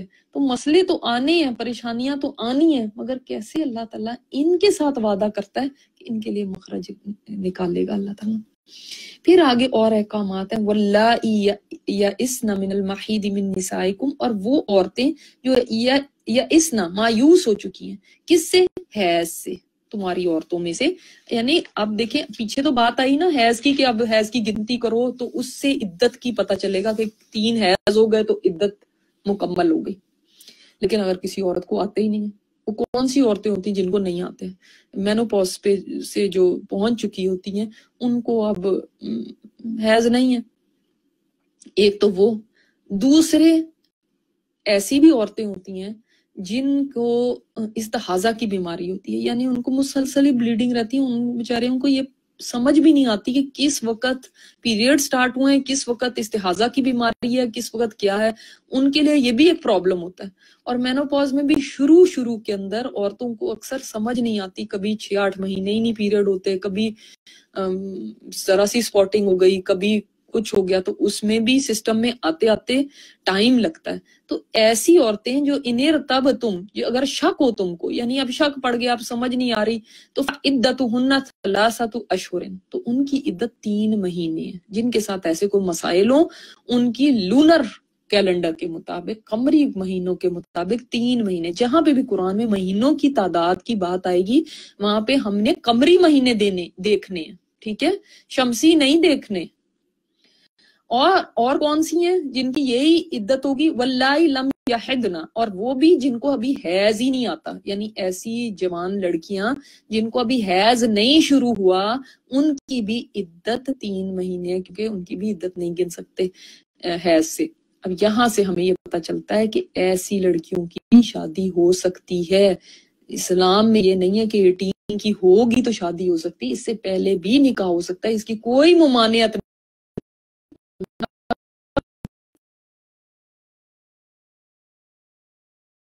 یہ بڑا ظلم ہو گیا یا ایسے ہو گیا، اسلام میں ایسا نہیں۔ وہ وہ ان کو حیض نہیں آتا۔ اور یہ یہاں پہ یاد رکھیں، یہ ان کی بات نہیں ہو رہی ہے کہ جن کا نکاح ہوا ہوا رخصتی نہیں ہوئی۔ ان کا تو میں نے آپ کو بتایا نا، ان کی تو عدت ہے ہی نہیں۔ ان کا نہیں عدت کا کوئی مسئلہ۔ عدت تو ہے ہی ان کی جن کی رخصتی ہو گئی یعنی شوہر کے ساتھ کوئی تعلق ہوا ہے۔ اب یہ لڑکیاں جو جوان ہیں، جن کو ابھی حیض ہی نہیں آتا، وہ بھی تین مہینے اگر ان کو طلق ہو جاتی تو تین مہینے تک انتظار کریں گی۔ وہ اولاد الحمال اور حمل والیاں۔ اب ایسی بھی ہو سکتی ہیں کوئی کہ حمل والی کو بھی تو پیریڈ نہیں آتے۔ تو وہ اس کا کیا ہوگا؟ وہ کیا کب تک انتظار کرے گی؟ اس کی عدت کیا ہوگی؟ اس کا مطلب ہے پریگنینسی میں بھی ڈائیورس ہو جاتی ہے۔ یہ نہیں ہے کہ اگر پریگنٹ عورت تو اس کو طلاق بھی نہیں ہونی۔ اس میں بھی ہو جاتی ہے۔ لیکن ان کی عدت کب ہوگی؟ اجل ہننا حملہ ہننا کہ جب وہ رکھ دیں اپنا ہم یعنی ان کی ڈیلیوری ہو جائے تو عدت ان کی مکمل ہوگی۔ چاہے وہ ڈیلیوری ایک گھنٹے بعد ہو جائے، چاہے آٹھ مہینے بعد ہو، نو مہینے بعد ہو، ٹھیک ہے؟ اور اگر کسی کی مثال کے طور پہ اس کا ہسبینڈ اس کو طلاق دیتا ہے اور ایک گھنٹے بعد اس کا بچہ پیدا ہو جاتا ہے، اس کی عدت ختم ہو گئی، رجوع کا ٹائم ختم ہو گیا۔ اگر رجعی طلاق ہے، ٹھیک ہے۔ وَمَن يَتَّقِ اللَّهَ يَجْعَلْ لَهُ مِنْ أَمْرِهِ يُسْرًا۔ سبحان اللہ، جو ڈرے گا اللہ سے نا، تو اللہ تعالیٰ اس کے لیے اس کے معاملات میں آسانی کر دے گا۔ اللہ، یہ دیکھیں، یہ اب ایک تیسری بات آ گئی نا یہاں پہ کہ تقوی کا کیا انعام اللہ تعالیٰ دے گا۔ اسی لیے بار بار اللہ تعالیٰ فرما رہے ہیں نا، ایک انسینٹیو ہمیں دے رہے ہیں کہ دیکھو، اللہ سے ڈر کے معاملے کرنا۔ ان میں بے باک نہ ہو جانا۔ یہ نہ سوچنا کہ اچھا میں جو جھوٹ سچ بتا دوں گی، لوگوں نے مجھے یقین کر لینا، میں نے رود ہو کے دکھا دینا اور تو سب کہیں گے یہی بیچاری ہے۔ اب چاہے الٹ معاملہ ہو کہ وہاں پہ میں ظالم بنی ہوئی لیکن لوگ اکثر عورت کے ساتھ ہوتے ہیں تو آنسو بہوں گی تو سب میرے حامی ہو جائیں گے۔ نہیں، تم تقوی کا معاملہ کرو۔ کہ اندر کی باتیں اللہ جانتا ہے، وہ دیکھ رہا ہے، یہ لوگ نہیں جانتے۔ اگر لوگ حامی بن گئے ہیں، سپورٹر بن گئے ہیں، وہ تو اس سٹوری کو جانتے ہیں نا جو ہم بتا رہے ہیں۔ ہم نے جھوٹ سچ ملایا اور بتا دیا۔ نہیں تو میرے اوپر تو اتنا ظلم ہوتا تھا، میں تو ایسے کرتے تھے، مجھے یہ کرتے تھے۔ تقوی کہاں گیا اس کے اندر، بتائیں؟ تقوی تو لاسٹ ہو گیا۔ اسی لیے اسی لیے میں آپ کو کہہ رہی نا نکاح کے وقت میں بھی تقوا تقوا تقوا ان آیات میں تقوا ہے اور طلاق کی آیات میں اور عدت کی آیات میں بھی تقوا ہے اب دیکھیں پیریڈز کا بھی کون جانتا ہے کہ بھی اب ختم ہو گئے کہ نہیں ہوئے؟ کتنے رہ گئے ہیں؟ کوئی عورت جھوٹ سچ کچھ بھی کہہ دے تو یعنی اس کو بھی اللہ کا ڈر ہوگا تو سچ بولے گی نا؟ وہ نہیں چاہتی کہ آدمی رجوع کرے۔ تو پہلے اس کو کہہ دی نہیں تو عدت تو میری ختم بھی ہو گئی بھی، کیونکہ میرے تو لاسٹ ہو بھی گئے۔ میرے تو تین ختم ہی ہو گئے میں۔ حالانکہ نہیں ابھی ہوئے، ابھی دو ہی ہوئے اب وہ ہو سکا کئیوں کو بہت دیر بعد بھی آتے ہیں۔ ہو سکتا ہے کسی کو چار مہینے لگ جائیں اس میں، پانچ مہینے لگ جائیں اس میں۔ کسی کے بہت جلدی بھی ہو جاتے ہیں۔ ہو سکتا ہے کسی کو دو مہینوں میں ہی ختم ہو جائیں، تین حیض اب وہ کچھ بھی جھوٹ سچ بتاتی ہے۔ وہ پرولونگ کرنا چاہتی ہے تو اس نے کہہ دیا، نہیں، ابھی میرے ختم ہی نہیں ہوئے۔ وہ کم کرنا چاہتی ہے تو کہہ سکتی ہے کچھ اور بات۔ تو کون ہوگا جو اس کے اندر ان کا جج ہوگا؟ کوئی پولیس ہوگی، کوئی کوئی عدالتیں ہوں گی کوئی کون، کس کو رکھیں گے آپ ٹوینٹی فور سیون سرویلنس کے لیے؟ کون چوکی داری کرے گا؟ یہ چوکی دار اندر ہونا چاہیے۔ یہ تقوا آپ صلی اللہ علیہ وسلم نے فرمایا تھا نا اتقوا ہا ہونا اتقوا اپنے دل کی طرف اشارہ کر کے تین مرتبہ فرمایا تقوا یہاں ہوتا ہے۔ یہ یہ حجاب لیں تقوا نہیں ہے۔ ہم حجاب لے ہوئے، کسی کو دیکھے ابایا پہن لیا، جس سے زیادہ تکی تو کوئی ہے ہی نہیں۔ تقوا تو اس میں خدا خوفی نہیں ہے۔ اگر دل میں گناہوں سے بچنے کا احساس نہیں ہے، تو پھر یہ کوئی حجاب، یہ کوئی داڑیاں، یہ کوئی جبے پہن لینا بائے پہن لینا اور سوچنا کہ ہم دنیا کے سب سے دیندار اور نیک لوگ ہیں، یہ تو صرف ایک دھوکہ ہے پھر۔ تقوی دل میں ہوتا ہے، دل میں۔ ہو سکتا ہے کوئی ہمیں ظاہری طور پہ کوئی بہت دینی نہ لگے، بہت اسلامک وہ نہ لگے، لیکن اس کے اندر تقوی ہو بہت۔ ہاں، ہو سکتا ہے کہ بہت ہی اپنے آپ کو کیا کیا کر کے دکھائے اور تصویر ہاتھ میں اور نقاب پہنے میں اور آدمی تو داڑیاں ہیں اور پتہ نہیں کیا شلواریں اوپر کی ہوئی ہیں لیکن تقوی نام کو نہیں ہے معاملات کریں تو پتہ چلتا ہے کہ یہ تو کیا تو یعنی ان کے معاملات تو اس قدر بدترین ہے کہ حد سے زیادہ تو پھر تقوی جو ہوتا ہے نا جب یہ ہوگا اور اس کا علم کس کو ہوگا کہ تقوی ہے کہ نہیں اب میں تو کتنا بھی دکھاتی رہوں شاید لوگوں کو میں قائل کر لوں کہ میرے اندر تقوی ہے اصل تو اللہ کو پتا ہے نا تقوی ہے یا نہیں اصل جج کون ہے اللہ ہے۔ اسی لیے وہ فرماتا ہے کہ جس کے اندر تقوی ہوگا، میں اس کے کاموں میں آسانی کر دوں گا۔ ہم کتنا مانگتے ہیں، اللہ ہمارے کاموں میں آسانیاں کر دے۔ اللہ، ہم ہم میں سے کوئی مشکلات نہیں چاہتا اپنے لیے۔ اللہ تعالیٰ فرماتے ہیں کہ جو چاہتا ہے کہ اس کے لیے میں آسانیاں کر دوں، جو چاہتا ہے کہ میں اس کے لیے راستہ کوئی نکال دوں، پھر وہ تقوی اختیار کرے نا۔ کیوں نہیں بچتے؟ کیوں نہیں ڈرتے؟ اب ہم اس کی ترجمہ کرتے ہیں نا پرہیزگاری۔ اب دیکھیں نا، جیسے ایک حدیث میں آتا ہے کہ حضرت عمر کے زمانے میں، حضرت عمر نے حضرت عبی بن قاب سے فرمایا تھا کہ مجھے بتاؤ تقوی کیا ہے۔ تو انہوں نے اس کی ڈیفینیشن جو بتائی وہ بڑی خوبصورت ہے اور اس سے بڑی اچھی طرح سمجھ آ جاتا ہے کیا چیز ہے تقوی۔ فرماتے ہیں جیسے آپ کسی راستے سے گزر رہے ہوں، وہاں پہ جھاڑیاں ہوں، تو آپ کیسے اپنے آپ کو بچا بچا کے جاتے ہیں نا؟ کہ میں کسی طرح کہ کہیں الجھ نہ جاؤں ان میں، یہی بس تقوی۔ کہ زندگی ایسے گزارو کہ بچ بچ کے، ایسے گزارو کہ یعنی آپ کو یہ ہو کہ ہائی میرا دامن کہیں گندا نہ ہو جائے، آلودہ نہ ہو جائے، گناہوں میں نہ پڑ جاؤں۔ بچاؤ اپنے آپ کو۔ اسی لیے بچاؤ بھی ترجمہ کیا جاتا ہے نا۔ اصل میں تو اللہ کی نافرمانی سے بچنا ہے نا یہ۔ یاد رکھیں انفارمیشن کا ہونا تقوی نہیں ہے۔ کہ میں نے اتنے اتنے سرٹیفکیٹ لے لیے، میں نے اتنی، میں نے اتنے کورس کر لیے، بس میرے اندر تقوی آ گیا۔ نہیں، یہ تقوی نہیں ہے۔ میں نے آپ کو جیسے بتایا کہ معلومات تو دیکھیں، ایک ڈاکٹر کو بھی معلومات ہو سکتی ہیں کہ یہ چیز ہارمفل ہے۔ لیکن مثلا اس کو پتا کہ سگریٹ ہارمفل ہے۔ ڈاکٹر کو چھوڑیں، ہر بندے کو پتا ہے ہارمفل ہے۔ لیکن وہ اس کو پی رہے ہوتے ہیں۔ پی رہے ہوتے ہیں نا؟ تو ایک چیز انفارمیشن کا ہونا الگ بات ہے۔ اور چیز سے بچ جانا الگ بات ہے۔ ہم احکامات اتنے سارے پڑھ رہے ہیں قرآن میں۔ جتنے لوگ گریجویٹ کرتے ہیں سب کو پتا چل گیا نا سب گو تھرو ہو گئے۔ لیکن یہ معلومات ہونا ہے۔ اس کا مطلب یہ نہیں ہے کہ وہ ان, ان کے مطابق چل بھی پڑیں گے۔ وہ تب چلیں گے جب تقوی ہوگا۔ کورس آپ کو صرف معلومات دے سکتا ہے۔ تقوی آپ سے عمل کرائے گا۔ تو تقوی یہ رٹ لینا یہ پڑھ لینا، یہ نہیں ہے تقوی۔ ٹھیک ہے؟ اور اسی وجہ سے ان اکرامکم اند اللہ اتقاکم اللہ کے نزدیک سب سے عزت والا وہ نہیں ہے جس نے قرآن حفظ کیا ہوا ہے، جو پڑھا رہے ہیں، جو ٹیچر ہے، جو یہ نہیں، جس میں تقوی زیادہ ہے۔ وہ ہے سب سے آگے۔ سبحان اللہ۔ اللہ کی نظر میں۔ عزتیں اس کی ہیں، اللہ کی نظر میں۔ اور جس کی اللہ کی نظر میں عزت ہو، وہ کتنا بڑا عزت دار ہے۔ وہ چاہے غریب ہے، وہ چاہے اسٹوڈنٹ ہے، وہ چاہے بہت کم پڑھا لکھا ہے، وہ چاہے شکلن میں دوسروں سے اس طرح سے نہیں ہے۔ وہ چاہے اسٹیٹس میں سوسائٹی میں اتنا اونچا مقام نہیں رکھتا، وہ چاہے کوئی چھوٹی سی جاب کرتا ہے۔ اللہ کے ہاں وہ بہت بڑا عزت والا ہے۔ کیونکہ اللہ کے ہاں عزتیں ان چیزوں سے نہیں ہوتی ہیں، ہماری نظر میں ہے تو تقوی کا بھی درجے ہیں۔ کسی میں زیادہ تقبہ ہوتا ہے، کسی میں کم ہوتا ہے۔ ایسا نہیں کہ ایک میں ایبسلوٹلی نہیں اور ایک میں بہت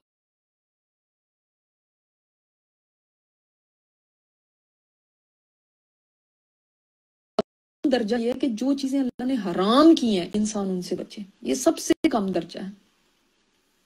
اور جو چیزیں فرض کی ہیں، ان کو کرے۔ اگر یہ درجہ بھی نہیں ہے تو پھر بالکل ہی نہیں سرے سے ہے ہی نہیں تقوی، پھر تو چھوڑ ہی دیں۔ اگر یہ نہیں ہے تو۔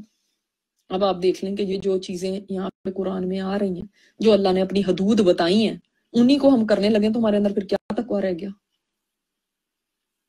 نا؟ اللہ تعالیٰ نے صاف سریحن جو حکم دینی ہے، دیکھو ایسے نہیں کرنا۔ ان کو ہی ہم کرنا شروع کر دیں۔ تو کیا تقوی ہے ہمارے اندر پھر؟ چاہے ہم ڈگریاں لے لیں، چاہے ہم سرٹیفکیٹ لے لیں، تو چاہے ہم حجاب ابائے کر لیں۔ اس سے تقوی نہیں ہے۔ پھر ہمارے اندر اور ساری چیزیں، چاہے ہو جائیں تقوی نہیں ہے۔ تو تقوی زندگی کے ہر فیز میں انسان کا پتہ چلتا ہے۔ ہاں جی یہ صرف کلاسوں تک نہیں ہوتا، یہ یہ کمروں کے اندر بھی ہے یعنی بیڈ رومز کے اندر بھی ہے۔ آپ کی رات کی کیا آپ کی ایکٹیویٹیز ہیں، ان میں بھی تقوی آپ کا نظر آئے گا کہ ہے کہ نہیں ہے۔ آپ کی بات چیت میں بھی نظر آئے گا، تقوی ہے کہ نہیں ہے۔ یہ جھلک ہے، یہ صرف ان کی، ایک جھلک ہوتی ہے کہ انسان کس طرح معاملات کرتا ہے دوسروں کے ساتھ۔ کس طرح سے انسان شوہر کے ساتھ رہ رہا ہے؟ کیسے پھر اگر علیحدگی ہے تو پھر کیا معاملات ہو رہے ہیں؟ ان سب میں تقوی جھلکے گا۔ اندر ہوگا تو نکلے گا نا باہر۔ اگر اندر نہیں ہے تو پھر کیا نظر آئے گا؟ اور جو ہم دین کا لبادہ اوڑھ لیتے ہیں وہ تو پھر ایکٹنگ ہی ہے۔ اگر اندر تقوی ہی نہیں ہے تو۔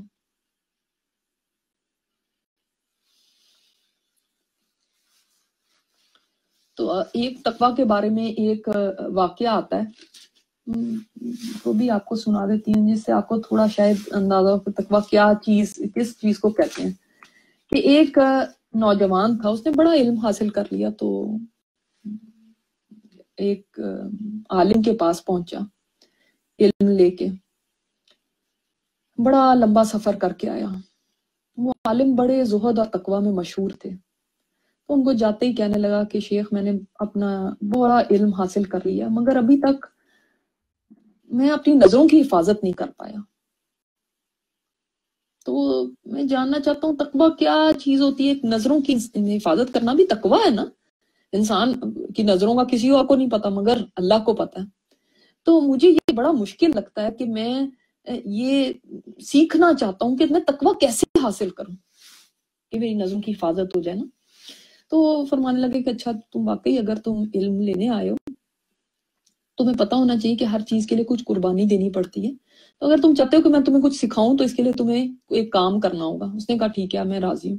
انہوں نے کہا کہ اب ایسا کرو کہ ہر روز تم نے دودھ کا ایک پیالہ جو ہے نا، وہ دوسرے شہر لے کر جانا ہے میرے استاد کے پاس۔ اور ایک ہی مقدار میں بھیجتا ہوں ہمیشہ تحفے کے طور پہ ان کو۔ تم نے اب یہ لے کر جانا ہے اور یہ یاد رکھنا۔ کہ اس میں سے ذرا ایک قطرہ بھی نہ چھلکے۔ یہ میرا خادم ہے، یہ تمہارے پیچھے پیچھے ہوگا۔ جب تم سارے شہر سے گزرو گے تو اگر تم نے ذرا بھی چھلکایا تو اس کے ہاتھ میں کوڑا ہوگا، یہ سب کے سامنے کوڑے لگائے گا۔ اب پہلا تو کام آسان تھا کہ بھئی وہاں تک پہنچانا ہے، کیسا بھی پہنچا دیتا، لیکن اس طرح سے پہنچانا ہے، یہ تو بڑا مشکل ہے۔ لڑکے نے پیالہ پکڑا، وہ تو دودھ سے لبا لب بھرا ہوا تھا۔ انہوں نے شیخ نے اپنا خادم ساتھ کیا اور یہ بہت آہستہ آہستہ بہت چکنا ہو کے بڑا کیئرفلی شہر کی سڑکیں پار کرنے لگا۔ مسلسل اس کی نظر کس کے تھی؟ دودھ کے پیالے پہ، کہ ایک قطرہ بھی نہ گر جائے۔ تو اس طرح وہ کرتے کرتے دوسرے شہر تک پہنچ گیا۔ جب کام کر کے واپس آیا تو آ کے شیخ سے کہنے لگا، میں نے کام پورا کر دیا۔ اب مجھے بتائیں میں نے اپنی نظروں کی حفاظت کیسے کرنی ہے؟ میں نے تقوی کیسے اختیار کرنا ہے؟ مجھے بتائیں تو شیخ کہنے لگے پہلے بتاؤ کہ تم کون کون سی جگہوں سے گزرے ہو؟ دوسرے شہر جاتے ہیں۔ لڑکے نے کہا مجھے کہاں اتنا پتا ہے؟ میری تو ساری توجہ ہی دودھ کے اوپر تھی۔ مجھے کیا پتا میں کون سے راستوں سے گزرا ہوں؟ یہ کہنے لگے تم نے بازار دیکھا؟ وہ کیسا تھا؟ وہاں پہ فلاں فلاں کی دکان ہے وہ اس, اس طرح ہے۔ وہ کہنے لگا لڑکا کہنے لگا مجھے تو پتا نہیں۔ اور کیا تم میرے بھتیجے کے گھر کے پاس سے گزرے وہ فلاں پل کے پار رہتا تھا؟ تم نے وہ دیکھا؟ ضرور دیکھا ہوگا۔ وہ شہر کا سب سے خوبصورت مکان ہے اس کا۔ کہنے لگا، نہیں، مجھے کہاں اس چیز کا ہوش تھا؟ کہنے لگا اچھا پھر وہ وہ جگہ تو دیکھی ہوگی، وہ باغ جو جہاں جہاں سے تم کراس کر کے آئے ہو، جس کے پاس سے، وہ باغ تو دیکھا تھا؟ وہ تو میرے استاد کے گھر کے پاس ہی تھا۔ کہنے لگا نہیں، مجھے تو بالکل نہیں پتا کہ کون سا باغ آیا، کون سا کیا ہوا۔ میں تو سارا وقت اسی پیالے کی طرف دیکھتا رہا۔ تو شیخ فرمانے لگے، لڑکے، تمہیں اب میری ضرورت نہیں۔ تم سمجھ چکے ہو کہ تقوا کیا ہے۔ وہ لڑکا حیران ہوا، کہنے لگا، وہ کیسے؟ فرمانے لگے، یہ دودھ کا پیالہ تمہارا امال نامہ ہے۔ بالکل جیسے تم اس کے جھلکنے کی فکر میں اپنے ماحول سے بھی بے خبر ہو گئے تھے نا۔ اسی طرح ایک متقی آدمی اپنے اعمال نامے کی فکر میں اتنا جو کرنا ہوتا ہے کہ دنیا کی چکا چوند اس کی رنگینیاں اس کی ٹیمپٹیشن اس کو ذرا بھی غافل نہیں ہونے دیتی۔ وہ بے خبر رہتا ہے ان چیزوں سے۔ وہ تو سارا وقت گم ہی اپنے اعمال نامے میں ہے۔ وہ سارا وقت دیکھ رہا ہے تو اپنے اعمال نامے کی طرف دیکھ رہا ہے۔ تو اس سے پتا چلا کہ انسان پھر جب بھی گناہ کی طرف مائل ہو تو وہ یاد رکھے میرے ساتھ ایک فرشتہ ہے۔ جیسے بالکل اس کے ساتھ پیچھے خادم تھا نا، تو میرے ساتھ وہ فرشتہ ہے، وہ میری ہر حرکت کو نوٹ کر رہا ہے۔ اگر اگر میں نے ذرا سی بھی کی تو اس نے وہیں پہ لکھ لینا ہے میرا یہ بات۔ اور پھر مجھے ساری یہ مخلوق کے سامنے شرمندگی ہوگی۔ میرا عمال نامہ خراب ہو جائے گا۔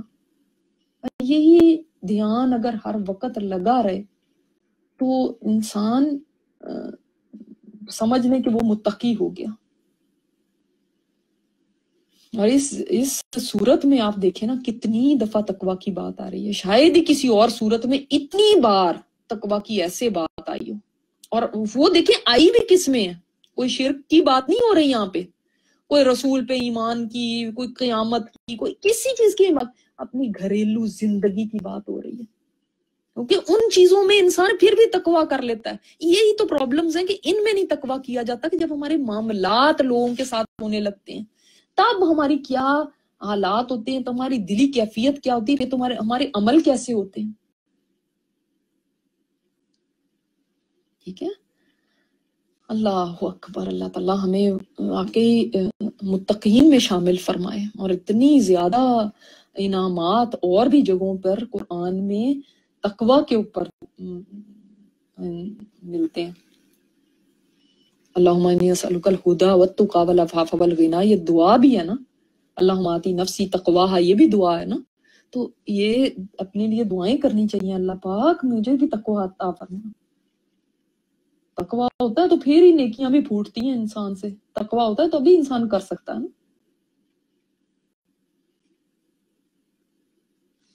اتنا اللہ تعالیٰ کا ڈر ہو کہ پھر انسان برائیوں کو چھوڑ دے۔ بعض لوگ کہتے ہیں آپ ڈراتی بہت ہیں۔ بس ڈراتی بہت ہیں تو ہم اللہ کرے، ہم ڈر جائیں نا۔ کہ ہمارے اندر اتنا اللہ کا ڈر ہو جائے کہ برائیاں چھوٹ جائیں تو یہ تو فائدہ مند ڈر ہے۔ اور اگر پھر بھی برائیاں ہی نہیں ہم نے چھوڑنی، اتنا ڈرنے کے بعد بھی تو پھر پتہ نہیں کیا چیز ہوگی جو ہمیں سیدھا کرے گی۔ امر اللہ، یہ اللہ کا حکم ہے۔ یہ جت یعنی کون سا اللہ کا حکم ہے؟ یہ جتنے احکامات پیچھے گزرے ہیں، یہ اللہ تعالیٰ کے حکم ہے انزلہ الیکم، اس اس نے نازل کیا ان کو تمہاری طرف۔ یعنی کسی غلط فہمی میں نہ رہنا کہ یہ تو چلو معمولی بات ہے، کوئی بات نہیں، اگر نہیں بھی مانے تو کیا ہو گیا؟ نہیں، یہ دیکھو یہ حکم کس کے ہیں۔ یہ چھوٹی بات نہیں ہے کہ اللہ تعالیٰ کا حکم ہے۔ یہ انسانوں کے بنائے ہوئے قوانین نہیں ہے یا کسی نے ایسے ہی کوئی چلتے پھرتے بات نہیں کہہ دی ہے؟ اس لیے یہ بات یہاں پہ کہی جا رہی ہے کہ انسان ایک دفعہ ذرا سوچ لے کہ جب میں ان کو توڑوں گا تو کن احکامات کو توڑوں گا؟ اور پھر دیکھیں، ایک اور دفعہ بات آ گئی، چوتھی دفعہ وہ میں یتق اللہ اور جو ڈرے گا اللہ سے یو کب فران حسیح آتی ہی اللہ اس کی برائیاں اس سے دور کر دے گا۔ اس سے کیا پتا چلا؟ اس سے یہ پتا چلا کہ تقوی کے آ جانے سے کہ انسان میں تقوی پیدا ہو، اس کا مطلب یہ نہیں ہے کہ انسان سے کبھی کوئی گناہ ہونا ہی نہیں۔ اب وہ جی متقی بن گیا، اب ہم سوچیں جی میرے اندر تو ویسے بڑا تقوی ہے، تو اب اب مجھے کس چیز کی پرواہ ہے؟ میں اللہ سے بڑا ڈرتی ہوں۔ اب مجھے تو فکر کرنے کی ضرورت نہیں، میں ویسے ہی بچ بچ کے چلتی ہوں۔ نہیں، انسان کے اندر تقوی آ بھی جائے نا، تب بھی اس سے ضرور غلطیاں ہوں گی۔ اور اللہ کو یہ پتہ ہے اسی وجہ سے اللہ تعالیٰ نے فرمایا کہ تقوا کے بعد بھی تم سے کوئی غلطیاں ہو جائیں تو اللہ تمہاری برائیوں کو دور کر دے گا۔ یہ بھی دیکھیں تقوا کا کتنا بڑا انعام ہے جو اللہ تعالیٰ نے دیا۔ تمہاری برائی دور کر دے گا۔ اور انسان اس سے پتا چلتا ہے جو واقعی متقی ہوگا نا، وہ پھر چین سے نہیں بیٹھ سکتا کہ اچھا مجھ سے غلطی ہو گئی تو کوئی بات نہیں۔ آئی ڈونٹ کیئر والا ایٹیچیوڈ نا۔ کوئی مسئلہ ہی نہیں ہے۔ وہ اللہ کو فرو خود ہی معاف کر دے گا۔ نہیں، جو متقی ہوتا ہے، وہ تو پھونک پھونک کے قدم رکھتا ہے۔ اس کو تو فکر ہوتی ہے مجھ سے کوئی غلط تو نہیں ہو گیا؟ اللہ پتہ نہیں، مجھ سے ناراض تو نہیں ہو گیا؟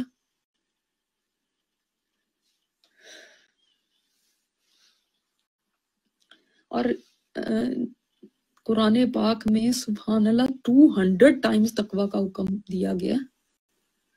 کیونکہ اللہ تعالیٰ کو پتا ہے کہ انسان کو یہ بڑی جلدی بھول جاتا ہے۔ اللہ کا ڈر بڑی جلدی انسان کے دل سے چلا جاتا ہے۔ میں بچ جاؤں اللہ کی نافرمانی سے۔ یہ خیال ہے۔ تو یہ اس سے نہیں وہ آگے نکلے کہ نماز، روزے یعنی صرف ان سے نہیں نکلے، بلکہ جو اخلاص تھا ان کے اعمال میں، اس نے ان کو آگے بڑھایا۔ یعنی اتنا ان کے اندر تقوی تھا۔ کہ اس تقوی کی وجہ سے وہ اتنے خالص ہو کے انہوں نے وہ کام کیے کہ ان کا اجر کئی کئی گنا بڑھ گیا۔ سبحان اللہ یعنی آپ کا تقوی آپ کے چھوٹے عمل کو بھی بہت بڑا بنا سکتا ہے۔ جیسے ابن مبارک فرماتے ہیں کہ کسی کی ذرا سے عمل کے بھی بڑے بڑے اجر ہو سکتے ہیں۔ یعنی اس کے اندر جو تقوی ہے اس کی وجہ سے۔ اور کسی کے بڑے بڑے اعمال کے بھی اجر ذرے برابر ہو سکتے ہیں۔ اللہ اکبر۔ یعنی ہم تو صرف عمل دیکھتے ہیں نا، ظاہری اس کو، اور اسی سے متاثر ہو جاتے ہیں ہاں یہ کتنا بڑا عمل۔ ویسے میں نے بڑی وہ، میں نے تو اتنا دے دیا تھا، میں نے تو یہ کر دیا۔ ہم صرف اوپر کی چیز کو دیکھ رہے ہیں، یا کسی اور کے بھی اوپر کی چیزوں کو دیکھتے ہیں۔ اندر تو ہمیں نظر ہی نہیں آتا۔ لیکن اللہ تو اندر دیکھتا ہے نا۔ اس عمل کا اجر اس کا کتنا ہے؟ شاید ایک ذرے کے برابر ہو، اللہ معاف کرے۔ اور ہو سکتا ہے کسی کے ذرے کو اللہ پہاڑ بنا دے کھجور کو اللہ عہد کے عہد پہاڑ کے برابر کر سکتا ہے۔ یہ اندر کا تقوی ہے۔ تقوی اخلاص لاتا ہے نا۔ انسان بار بار اپنے آپ کو چیک کرتا رہتا ہے، میرے اندر اخلاص ہے کہ نہیں، میں یہ کام کر رہا ہوں، کیوں کر رہی ہوں؟ میں اس سے کیا چاہتی ہوں؟ میں اسے یہ یہ چاہتی ہوں فیم چاہتی ہوں، تالیاں چاہتی ہوں، لوگوں کی واہ چاہتی ہوں ویری گڈ چاہتی ہوں، شاباشیں چاہتی ہوں۔ یا مجھے، میرا اس سے کوئی اور مقصد ہے۔ آپ دیکھیں، آپ سارے ماشاء اللہ بہت سارے لوگ کر رہے ہیں گریجویٹ کیا سب کا ایک جتنا اجر ہوگا؟ آپ کیا سوچتے ہیں؟ کیا سوچتے ہیں آپ؟ سرٹیفکیٹ تو سب کو ایک جیسے ہی ملنے ہیں۔ ان میں کوئی فرق نہیں ہے۔ ایک ہی پرنٹنگ ہے، ایک ہی سب کچھ ہے۔ نام فرق فرق ہوں گے بس۔ لیکن آپ کیا سوچتے ہیں کہ سب کا اجر ایک جتنا؟ نہیں. سب کا ایک جتنا اجر نہیں ہے ان چھ سال کی محنتوں پہ. سب کے اجر مختلف ہیں. کس کے اندر کتنا تقوی پیدا ہوا؟ کس نے اس کو پڑھ کے کتنا ایبزورب کیا اور عمل میں لے آیا؟ کس نے اپنی کمیوں کو کیسے کیسے دور کیا؟ کس نے اپنے فلوز کو، اپنی ویکنیس کو، اپنے گناہوں کو کیسے جبر کر کے چھوڑا؟ کس نے اپنے اندر کی کتنی صفائی کی؟ کس کے اندر کتنا اخلاص پیدا ہوا؟ سب کے ڈفرنٹ ہوں گے اجر۔ کئیوں کے پہاڑوں کے برابر یا شاید اس سے بھی اوپر ہوں۔ کئیوں کے ذروں کے برابر۔ کبھی سوچتے ہیں آپ کہ آپ کا کتنا ہوگا؟ سوچنے کی بات ہے یہ۔ کیونکہ یہاں پہ فرمایا یعظم لہو اجرا، اللہ تعالیٰ بڑا کر دے گا اس کا اجر۔ اس کا مطلب اجر بھی اللہ بڑا بھی کر سکتا ہے اور چھوٹا بھی کر سکتا ہے۔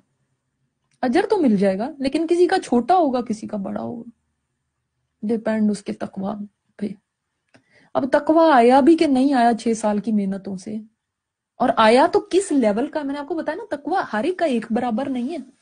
کس لیول کا تقوا ہے وہ وہ آپ کا سرٹیفکیٹ ہے اصل۔ وہ کسی کا شاندار ہوگا اور کسی کا ایسے ہی ہوگا بس۔ ان کاغذ کے پرزوں کو نہ دیکھیے گا۔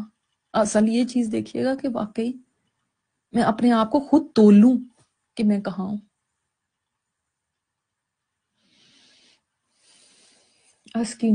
من حیث سکن تم یہ یہ اب آگے آیت جو آ رہی ہے، یہ پھر طلاق کے احکامات کو بتایا گیا ہے کہ جب عدت ہو تو پھر کیا کرنا ہے؟ اس کی نو ہننا پھر بساؤ ان عورتوں کو۔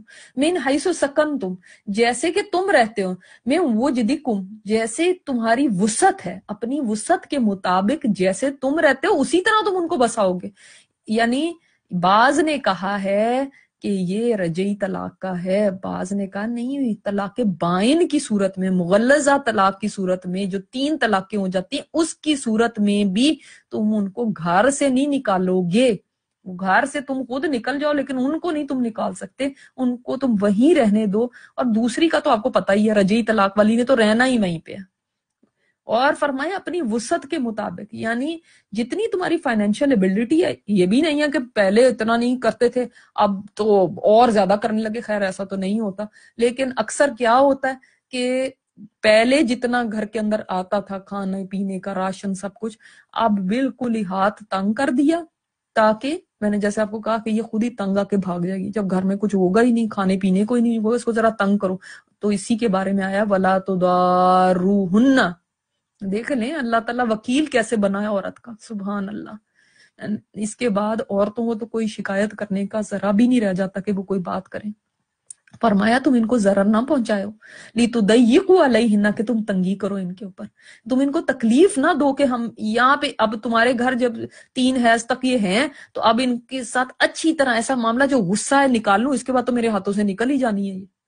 اب کسی نہ کسی طرح اس کو ستاؤں۔ یا پھر بگانے کے لیے یا ویسے ہی اپنے غصے کو کرنے کے لیے کہ اب میں نے تو چھوڑنا تو ہے یہ پروگرام تو بنا ہی لیا اب میں کسی نہ کسی طرح اس کو ایسی تکلیفیں دوں، چاہے زبان سے، چاہے کسی طرح ستانے کے لیے کوئی صورتیں اختیار کروں، کسی طرح اس کو ٹارچر کروں۔ وربل ٹارچر بھی ہوتا ہے، مینٹل ٹارچر ہوتا ہے۔ تو وہ اس طرح سے اس کو کروں یا اس کے اوپر کوئی بدنام کرنے کے لیے اس کو کوئی طریقے کروں۔ اور پھر جس کے ساتھ تعلق ہی نہ رکھنا ہو، اس کے ساتھ تو بالکل ہی نہیں کوئی ہمدردی رہ جاتی۔ تو دونوں علماء کی رائے ہیں۔ ایک یہ ہے کہ یہ رجی طلاق والیوں کا، ایک یہ بھی ہے کہ بائن طلاق کی صورت میں بھی یا تو خود چلے جائے آدمی اور اس کو وہاں پہ رہنے دے یا اس کو کہیں رکھنے کا انتظام کر دے۔ تم رہنے دو، اس کو اس کو جہاں پہ جیسی تمہاری وسط ہے، یہاں کوئی ایسی جگہ پہ اس کا انتظام کرو بائن طلاق کی صورت میں کہ جہاں پہ وہ رہ سکتی ہو۔ یعنی اس کو لاجنگ دینا ہاؤسنگ دینا سکن تو مطلب ہاؤسنگ دینا آدمی کی ذمہ داری ہے پھر، اپنی فائنینشیل ابلیٹی کے مطابق۔ ان کنہ اولاتی حمل اور اگر ہوں وہ حمل والیاں، فَأَنفِقُوا عَلَيْهِنَّ حَتَّى يَضَعْنَا حَمْلَهُنَّ۔ اگر حمل والی ہیں تو ان پہ کب تک خرچ کرو؟ جب تک ان کا حمل نہ وہ یعنی بچہ ڈلیور نہ ہو جائے، حمل نہ رکھ دیں یعنی اس وقت تک، اب یہاں پہ دیکھیں، پہلے کیا آیا؟ سکن تم اور یہاں پہ کیا آیا؟ انفقو، خرچ کرو، وہاں پہ کیا تھا؟ صرف ہاؤسنگ تھی، یہاں پہ کیا ہے؟ مینٹیننس بھی ہے ہاؤسنگ بھی ہے۔ سمجھ آ گئی بات؟ پورا ان کا نان نفقہ ہے، جس کو ہم کہتے ہیں۔ ان کے اوپر کرو، کب تک؟ جب تک یہ ڈیلیور نہیں کر دیتی۔ اور کن کے اوپر خرچ کرو؟ ہن ان عورتوں کے اوپر۔ یہ نہیں کہ میں تو اپنے بچے پہ خرچ کر رہا ہوں جو اس کے پیٹ میں ہاں اس کی وجہ سے ہی تم اس کے اوپر خرچ کر رہے ہو، لیکن اس کے اوپر خرچ کرو گے۔ اس کا خرچہ دو گے۔ اس کا کھانا، پینا، رہنا، اس کا یہ سب چیزیں، پورا نان نفقہ کی ذمہ داری آدمی کی ہوگی۔ کیوں؟ اس لیے کہ وہ عورت اس کا بچہ اٹھائے پھر رہی ہے۔ وہ اس کے لیے سروس کر رہی ہے۔ لَكُمْ۔ پھر اگر وہ دودھ پلائیں تمہارے لیے، کیونکہ تمہارے بچے کو پلا رہی ہیں۔ اس کے پیٹ میں تو تمہارا ہی بچہ ہے، اس کے بھائیوں کی ذمہ داری نہیں ہے، اس عورت کے باپ کی ذمہ داری نہیں ہے کہ وہ تمہارے بچوں کو پالیں ٹھیک ہے، یہ اس آدمی کی ذمہ داری، کیونکہ تمہارا بچہ، تم گھر کے قوام تم ہی تھے نا، تمہارے انڈر تھے نا، عورت اگر چلی بھی گئی، بچے تو تمہارے ہی ہیں۔ تو اگر وہ دودھ پلاتی ہیں تمہارے لیے، تو ان کو دو ان کے اجور یعنی ان کے جو اجر ہیں، ان کی پے ان کو تم کرو گے اس کے اوپر کہ وہ دودھ پلا رہی ہیں تمہارے بچے کو۔ تو اس سے بھی پتا چلتا ہے کہ اگر عورت بچے کو نرس کرتی ہے، دودھ پلاتی ہے، تو آدمی کے اوپر ذمہ داری ہے کہ وہ اس کو اجرت دے۔ ٹھیک ہے؟ اور اس کے لیے آپس میں بیٹھ کے طے کر لیں کہ کتنا ایک کوئی معروف طریقہ تعمیر بہینہ کم معروف اور معاملہ کرو آپس میں بھلے طریقے کے ساتھ، نہ عورت مطلب نہ جائز مانگے، نہ آدمی کہے کہ میں نے اس سے کم دینا ہے۔ کیونکہ آپس کے اندر تو لگتی ہے نا، تو اس لیے آدمی کہتا ہے کہ میں کم سے کم دوں گا، جتنا باہر دینا ہے اس سے بھی کم دوں۔ اور عورت کہتی ہے کہ نہیں، میں نے زیادہ اس سے فائدہ اٹھا لوں۔ اسی وجہ سے فرمایا وہ ان سر تم اگر آپس میں کشمکش کرو تم، اگر کسی چیز پہ اگری نہیں کر پا رہے، جھگڑا ہو رہا ہے کہ وہ اتنا کہہ رہا ہے، یہ کہہ رہی ہے، نہیں، میں نے نہیں اتنے پہ نہ تو پھر کیا کرو اخرا تو دودھ پلائے اس کے لیے کوئی دوسری عورت، ٹھیک ہے؟ پھر یعنی کوئی اور کو ہائر کر لو جو اس کو دودھ پلا دے، لیکن تم نہیں یہ جھگڑا ختم کرو۔ یعنی آپ دیکھتے ہیں کہ اسلام کیسے جھگڑوں کو طول دینا اور جھگڑوں میں پڑ گئے اب وہ اس پہ ہی اگری نہیں کرتے تو اس کے اوپر نہیں تیسرا راستہ لے لو۔ ٹھیک ہے، ختم کرو اس بات کو۔ نہ وہ پلائے گی تو نہ یہ اس نے، نہیں اس نے پلوانا بچے کی ماں سے تو ٹھیک ہے، پھر کہیں اور چلی جائے۔ وہ کوئی اور ہائر کر لے، وہاں پہ بھی تو دے گا پیسے، تو اس کی ماں کو ہی دے دے۔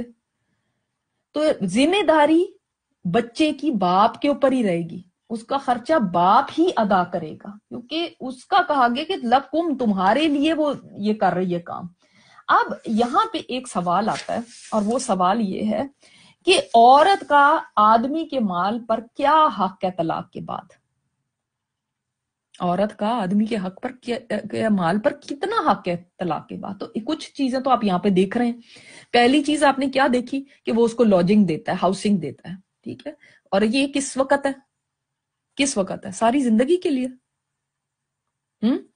نہیں، صرف عدت میں۔ پھر اگر وہ پریگنٹ ہے اچھا وہ چاہے وہ طلاق بائن ہے چاہے رجی ہے دونوں صورتوں میں۔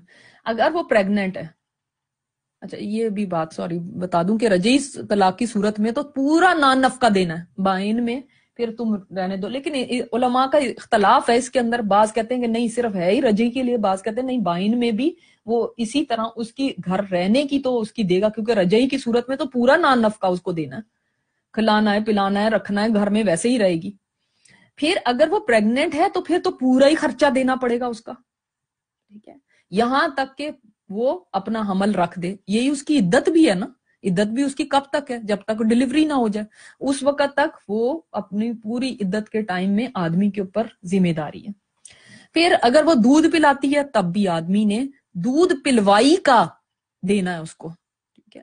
ایسے نہیں کہ اس کے اوپر ویسے ہی خرچ کر رہا اگر دودھ پلا رہی، اگر فن اس کا مطلب اگر وہ نہیں بھی پلانا چاہتی تو پھر کوئی مسئلہ نہیں ہے کسی اور کے پاس چلے جاؤ۔ اس کے علاوہ اور بھی ہے کوئی؟ جی ہاں طلاق ہو جاتی ہے تو مہر ادا کرنا یہ آدمی کی ذمہ داری۔ اگر اس نے پہلے نہیں ادا کیا ہوا تو اب ادا کرے گا۔ اگر پہلے آدھا کیا تھا تو آدھا باقی ادا کرے گا۔ پھر متعلقہ، جیسے ہم پہلے ہم پڑھ چکے ہیں کہ یعنی جاتے وقت اس کو رخصت کرتے وقت کچھ کچھ کچھ دیدی سے اپنی مرضی سے کچھ دے دلا دیا، کوئی تحفہ دے دیا، کوئی کچھ دے دیا کہ یعنی اب، اگر سیپریٹ بھی ہو رہے ہیں ایک دوسرے سے تو اچھے طریقے کے ساتھ ہوں۔ کوئی دل میں ایسی باتیں بھی ہیں تو چلو کچھ دے دیا تاکہ کوئی ان فیلنگز نہ رہیں۔ ٹھیک ہے؟ اچھا اب یہ بتائیں کہ کیا وہ ساری زندگی کے لیے اس کو دے گا یا اتنے سالوں کے لیے دے گا یا جیسے یہاں پہ ان ملکوں میں نفقے کی بات آتی ہے، نفقے کو ایلیمنی کہتے ہیں، کہ یہ نفقہ وہ کہتے ہیں کہ پچھلے شوہر کے اوپر ذمہ داری ہے طلاق کے بعد بھی ذمہ داری ہے کہ وہ اس عورت کو دیتا رہے۔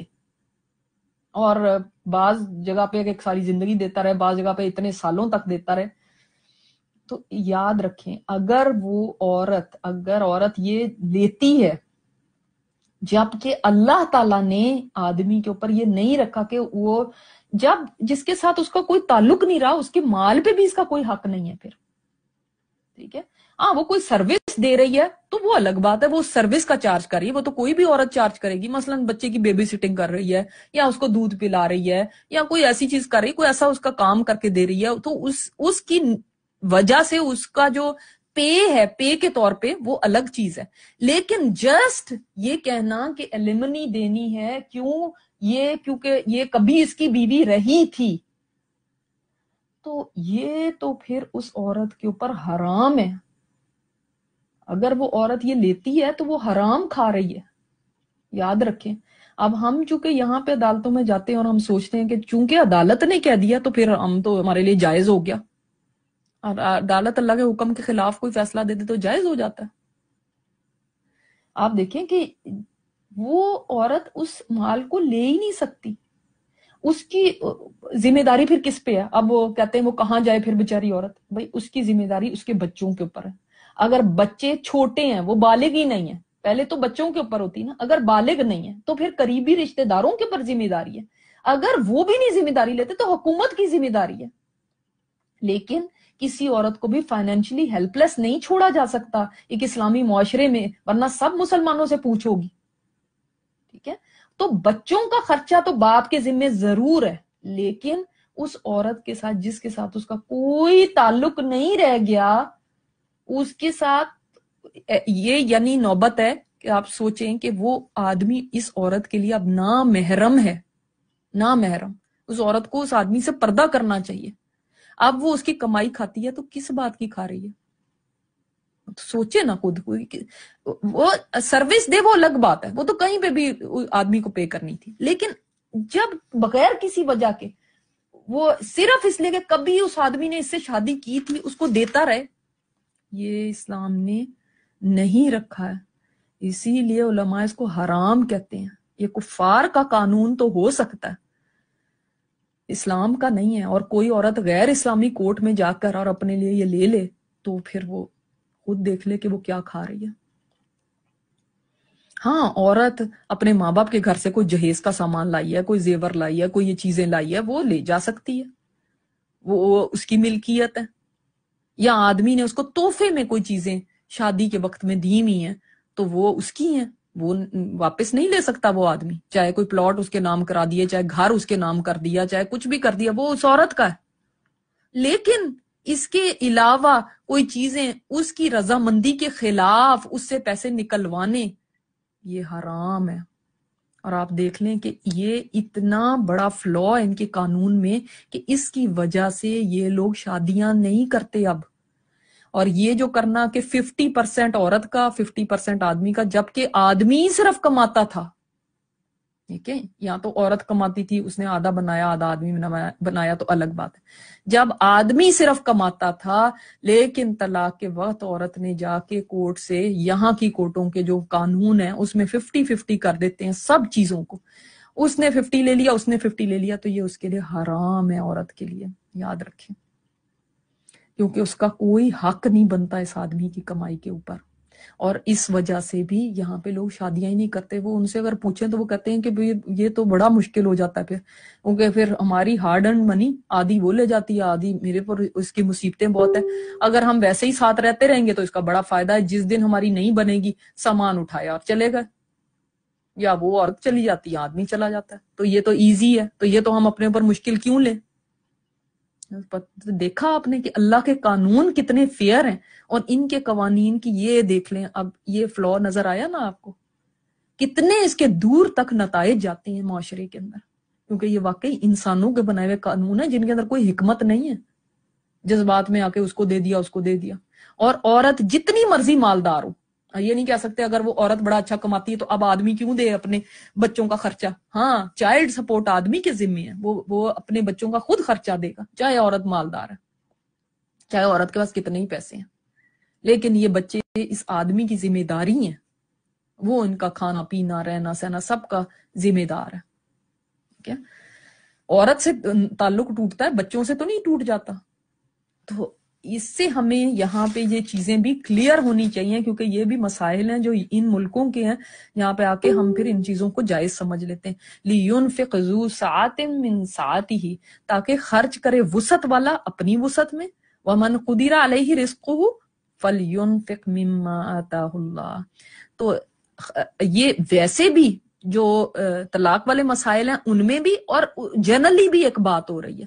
طلاق والے مسائل میں دیکھیں تو اگر وہ کوئی خرچہ کرنا ہے، کچھ دینا ہے، دودھ پلوائی کا بھی، تو جس کے پاس زیادہ ہے، وہ اپنی وسعت کے مطابق کرے۔ وہ بھی اتنا نہ ہاتھ تنگ کر دے کہ اتنا کچھ ہے، پھر بھی اتنا کنجوس بنا ہوا ہے۔ اور جس کے پاس تنگی ہے، تو چاہیے کہ خرچ کرے، اس میں سے جو اللہ نے اس کو عطا کیا۔ اور جنرل مانوں میں لیں تو انسان اپنے اوپر یا اپنے گھر والوں پہ کس طرح خرچ کرے گا یہ بتا دیا گیا۔ جنرل جا عام زندگی میں۔ یعنی جس انسان کو اللہ نے وسعت دی ہے نا، تو اگر اس کے حالات اچھے ہیں تو اب فقیروں والی زندگی نہ گزارے کہ پھڑے ہوئے کپڑے پہنے ہوئے ہیں، برے حالوں کے اندر رہتا ہے۔ جی میں نیک بہت ہوں۔ نیکی اتنی زیادہ ہے کہ میں نہ کچھ کھانے میں، نہ کچھ پہننے میں، نہ کچھ نہیں، پھر جو تمہیں اللہ نے نعمتیں دی اس کا اثر تم پہ نظر آنا چاہیے۔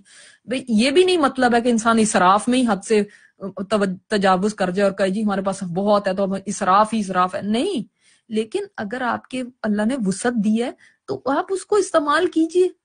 اگر کسی کے پاس تنگی ہے تو اس وہ اس مطابق اپنا معاملہ رکھے گا، اپنے اسپینڈ کرے گا۔ وہ بھی یہ نہ کرے کہ لون لے لے کے خرچہ کرے تاکہ میں لوگوں کو دکھاؤں کہ میں بہت کچھ بڑی چیز ہوں۔ حضرت عمر کے دور کے اندر ایک دفعہ یہ شکایت آئی کہ ہمارے جو امیر ہیں وہ بہت ہی یعنی موٹا کپڑا پہنتے ہیں اور ہلکی غذا کھاتے ہیں۔ یعنی مطلب یہ تھا موٹا کپڑا پہننے کا اس زمانے میں کہ بہت ہی ان کے کپڑے بہت سستے اور ایسے ہوتے ہیں کہ اچھے نہیں ہیں۔ تو آپ نے حکم دیا کہ ان کو ایک ہزار دینار بھجوا دو۔ جس کے ہاتھ بھجوائے، اس سے فرمایا کہ دیکھنا بھی کہ وہ ان دیناروں کیا کرتے ہیں۔ جب وہاں پہ ان کو ملی تو انہوں نے پھر کچھ بہتر کپڑے، باریک کپڑے پہننا شروع کر دیے اور ذرا بہتر غذا کھانی شروع کر دی۔ تو قاصد نے آ کے جب حضرت عمر سے یہ واقعہ بیان کیا کہ ہاں ان کے حالات کچھ بدلے ہیں، تو پھر آپ نے فرمایا، اللہ اس پر رحم کرے اور آپ نے یہی آیت تلاوت فرمائی کہ کشادگی والا کشادگی کے مطابق خرچ کرے، تنگی والا تنگی کے مطابق خرچ کرے، اپنے اس کی، اپنی جو اس کی حالت ہے اس کے مطابق خرچ کرے۔ یعنی وہ بھی نہ چور بازاری شروع کر دے کہ میں نے تو فراغی نہیں، اگر اس کا ہاتھ تنگ ہے تو وہ اس کے مطابق اپنا گزارا چلائے اور اسی کے اندر رہنے کی کوشش کرے۔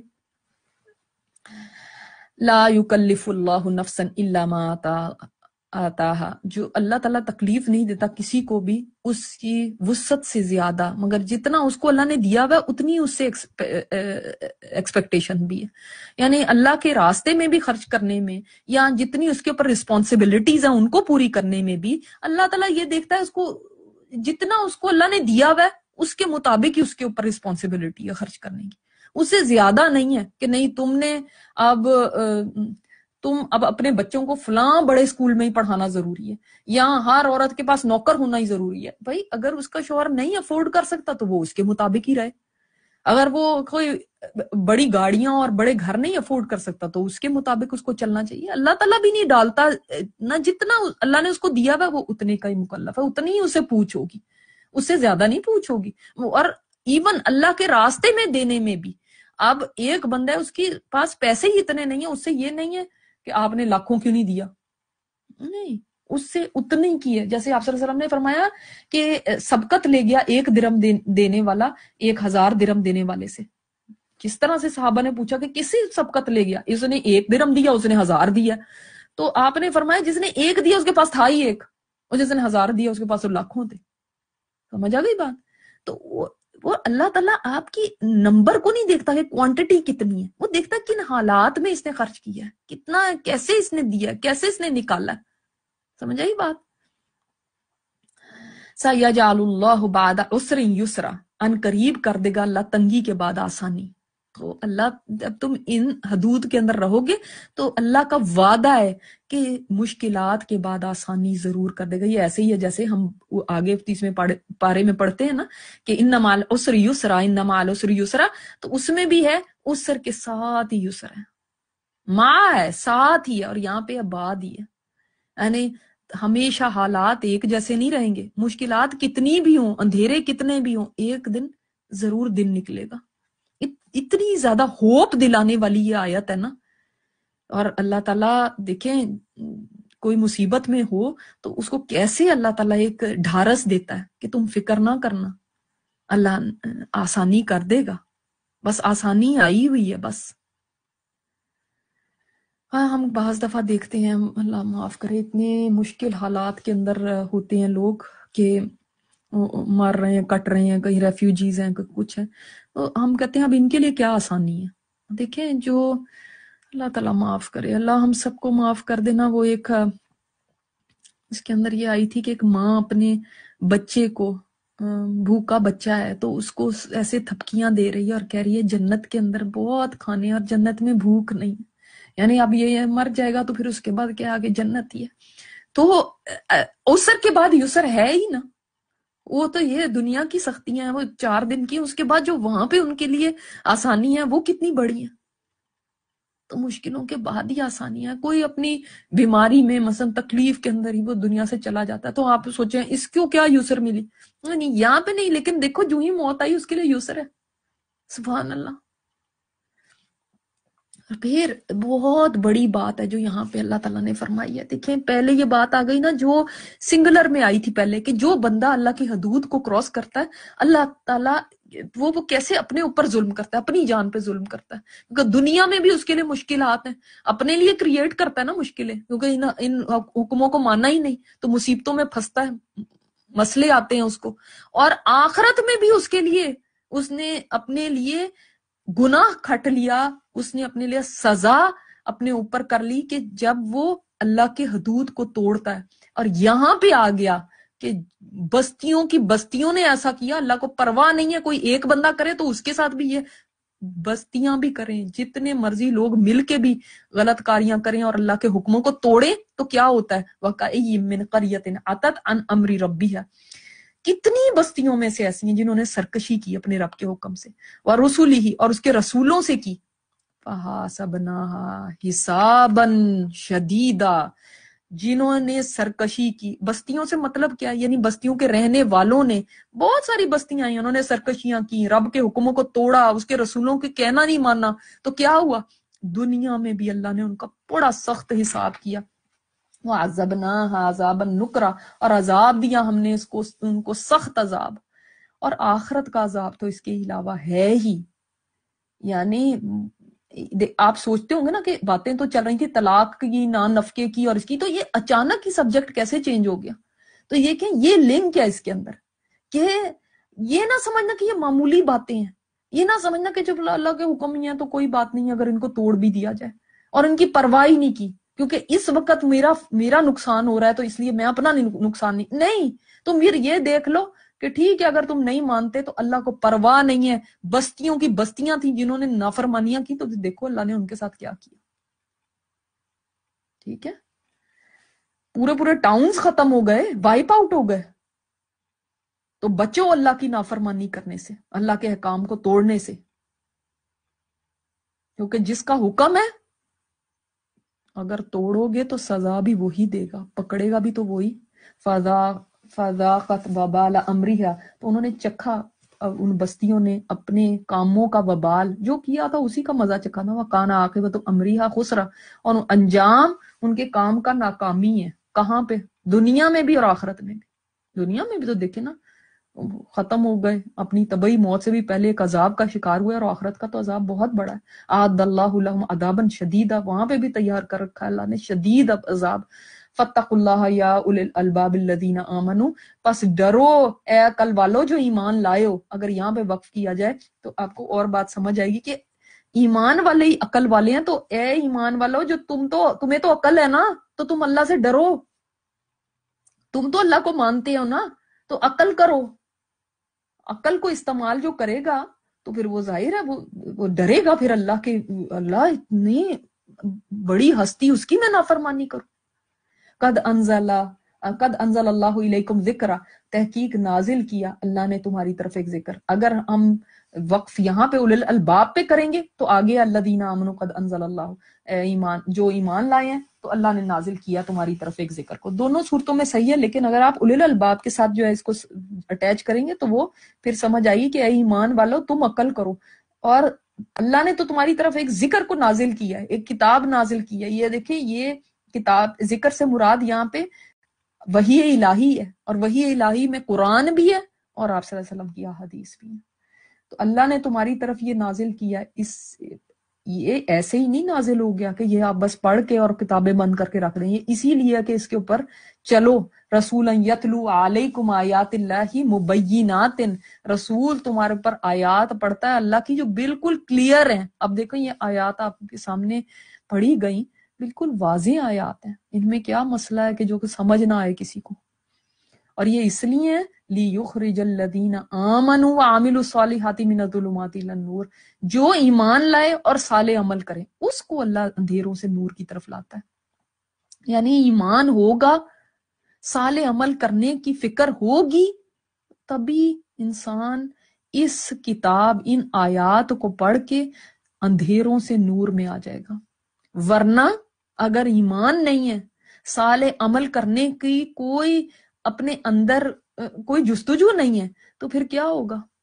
چاہے قرآن کتنا ہی پڑھتے رہیں، اندھیروں میں ہی بھٹکتے رہیں گے۔ نکلیں گے نہیں اندھیروں سے، کیونکہ اندر اندر یہ چاہت نہیں کہ نہیں، میں نے اچھا کرنا ہے، میں نے سال عمل کرنا ہے، میرا اللہ پہ ایمان ہے۔ اگر یہی ایمان ہی درست نہیں ہے نا، تو اندھیروں سے کیسے نور میں آئیں گے؟ یہ کتاب جتنا مرضی ہمیں سکھاتی رہے، کورسوں پہ کورس آپ کر لیں۔ ایک ایک کورس نہیں، دس دس دفعہ اس قرآن کو اسے گو تھرو کر لیں، اس کے کورس کر لیں، کوئی فائدہ نہیں ہوگا، کیونکہ اندر ایمان صحیح نہیں اور سالے عمل کرنے کا شوق نہیں۔ وَيُؤْمِن بِاللَّهِ وَيَعْمَلْ صَالِحًا اور جو ایمان لائے گا اللہ پر سال عمل کرے گا، اس کتاب کی روشنی میں يُدْخِلْهُ جَنَّاتٍ تَجْرِي مِن تَحْتِهَا الْأَنْهَارُ خَالِدِينَ فِيهَا أَبَدًا۔ اللہ تعالیٰ فرماتے ہیں کہ اللہ داخل کرے گا ان باغوں میں جن کے نیچے نہریں بہتی ہیں۔ ہمیشہ ہمیشہ۔ قد آسانہ تحقیق اچھا دیا۔ قد آسن اللہ له رزقا۔ تحقیق اچھا دیا اللہ نے اس کو رزق۔ جو نعمتیں آخرت کی ہیں نا، وہ رزق کتنا پیارا ہے جو اللہ نے اس کو دیا جو نہ کبھی ختم ہونے والا ہے، نہ اس پہ کوئی زوال ہے اور نہ ہی کوئی چھیننے والا ہے اس کو۔ وہ کتنا اچھا رزق ہے۔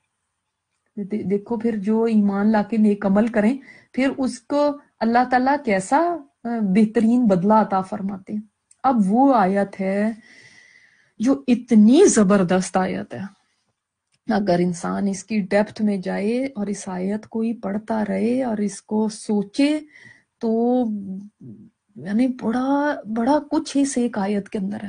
اللہ تعالیٰ کی عظمت، جیسے ہم نے سورہ حدید کی چھ آیتیں پڑھی تھی، سورہ عاشر کی آخری آیتیں پڑھی تھی، اللہ تعالیٰ کی عظمت کا کتنا بڑا بیان تھا ان کے اندر۔ اسی طرح اس آیت میں اللہ تعالیٰ کیا فرماتے اللہ الذي خلق سبع سماوات ومن الارض مثلهن اللہ ہے وہ جس نے پیدا کیا ساتوں آسمانوں کو۔ آپ دیکھیں جیسے جیسے اس دنیا میں سائنس نے ترقی کی ہے، ویسے ویسے پتہ چلتا جا رہا ہے اب لوگوں کو کہ جس جہان کو ہم، جس زمین کو ہم پورا جہان سمجھے بیٹھے تھے کہ یہ تو بس پتہ نہیں ہم کتنی یعنی یہ زمین ہی ساری کائنات ہے اور پتہ نہیں کتنی بڑی چیز ہے۔ پتا چلا کہ یہ تو کچھ بھی نہیں ہے۔ یہ کیا اس، ہمارا تو سورج بھی کچھ نہیں ہے۔ یہ بھی ایک ریت کے ذرے سے برابر نہیں ہے اس کائنات میں۔ تو یہ کائنات تو کتنی بڑی ہے۔ سات آسمان ہیں، وہ پتہ نہیں سات گیلیکسیز ہیں، سات کائناتیں ہیں، کیا چیز ہیں یہ؟ اور وہ ان سب کو پیدا بھی کیا، ان کو چلا بھی رہا ہے، ان کو قائم بھی رکھے ہوئے ہے ہر دن اس کی نئی شان ہے۔ کلو یوم ہوا فی شان فبی ائی ربکما تکتبان تو ایسے رب کی تو کتنی تعریفیں کرو۔ کہاں ممکن ہے اس کی تعریف کرنا؟ کہاں ممکن ہے حق ادا کرنا اس کی تعریف کا؟ وہ وہ رب ہے جس نے یعنی اس نے تمہیں یہ احکامات دیے ہیں۔ تو سن لو کہ کس نے تمہیں یہ حکم دیے ہیں۔ اب دیکھ رہے ہیں نا آپ کے کیسے اللہ تعالیٰ انسان کے اندر کو تیار کرتا ہے کہ وہ حکموں کو سننے کے بعد ماننے کے لیے آمادہ ہو جائے۔ کہ یہ کوئی چھوٹی بات نہیں، یہ کوئی تمہارے ملک کی حکومت نے نہیں دی ہے، یہ کوئی تمہارے گورنر نے نہیں دیا، کوئی بل پاس کیا، یہ کوئی تمہاری کلاس کے لوگوں نے نہیں تمہارے اوپر کوئی ڈالا، یہ اس رب نے جس نے پیدا کیا آسمانوں کو، ساتوں آسمانوں کو وامن اللہ اور زمین میں سے بھی، انہی کی ماند یعنی زمین میں ساتوں آسمانوں کا خالق بھی اللہ ہے اور زمین میں بھی جو کچھ ہے، سب کو۔ اور زمین بھی مثل ہننا کے مثلا ہننا کے یعنی زمین بھی اس کی مثال ہے۔ یعنی زمینیں بھی آسمان جتنی ہی ہیں۔ یہ اس میں دو رائے پائی جاتی ہیں۔ ایک تو بعض علماء کہتے ہیں کہ زمین میں بھی سیون ہی لیئرز ہیں، جیسے سیون آسمان کا ہے۔ اور بعض کہتے ہیں نہیں، زمینوں کی سات زمینیں بھی ہیں جیسے سات آسمان ہیں، کیونکہ مت اللہ کہا گیا، انہی کی مانند۔ اور حدیث میں بھی دعا بھی آتی ہے سات آسمان اور سات زمین کی، تو اس میں بھی اردینا سبان کہا گیا ہے دعا میں بھی، اور حدیث میں بھی ایک آتا ہے نا، آپ نے سنی ہوگی کہ قیامت کے دن جو انسان کسی کی بالشت بھر زمین بھی اس نے ہتھیائی ہوگی نہ حق اس نے ناجائز اس پہ قبضہ کیا ہوگا، تو ساتوں زمینوں کا توق اس کو پہنایا جائے گا۔ اس میں بھی ساتوں زمینوں کی بات ہے نہ آٹھ کی بات ہے نہ ایک کی بات ہے۔ اس کا مطلب سات زمینیں بھی ہیں۔ اب وہ کیا ہیں زمینیں؟ کہاں ہیں زمینیں؟ کن کن گیلیکسیز میں بھی، اب تو مشکل ہی نہیں ہے یہ سمجھنا کہ سات زمینیں میں ہو سکتی اس زمانے میں کوئی لوگ سوچتے ہوں گے کہ کیسے سات زمینیں ہو سکتی آج تو کوئی بھی مشکل نہیں ہے، بلکہ سائنس خود ہی کہتی ہے کہ ہو سکتا ہے اور سسٹم ہو، ایسی زمین کہیں اور بھی ہو اور وہاں پہ بھی آبادی ہو۔ ہر وقت یہ ایلینز کی باتیں کرتے رہتے ہیں۔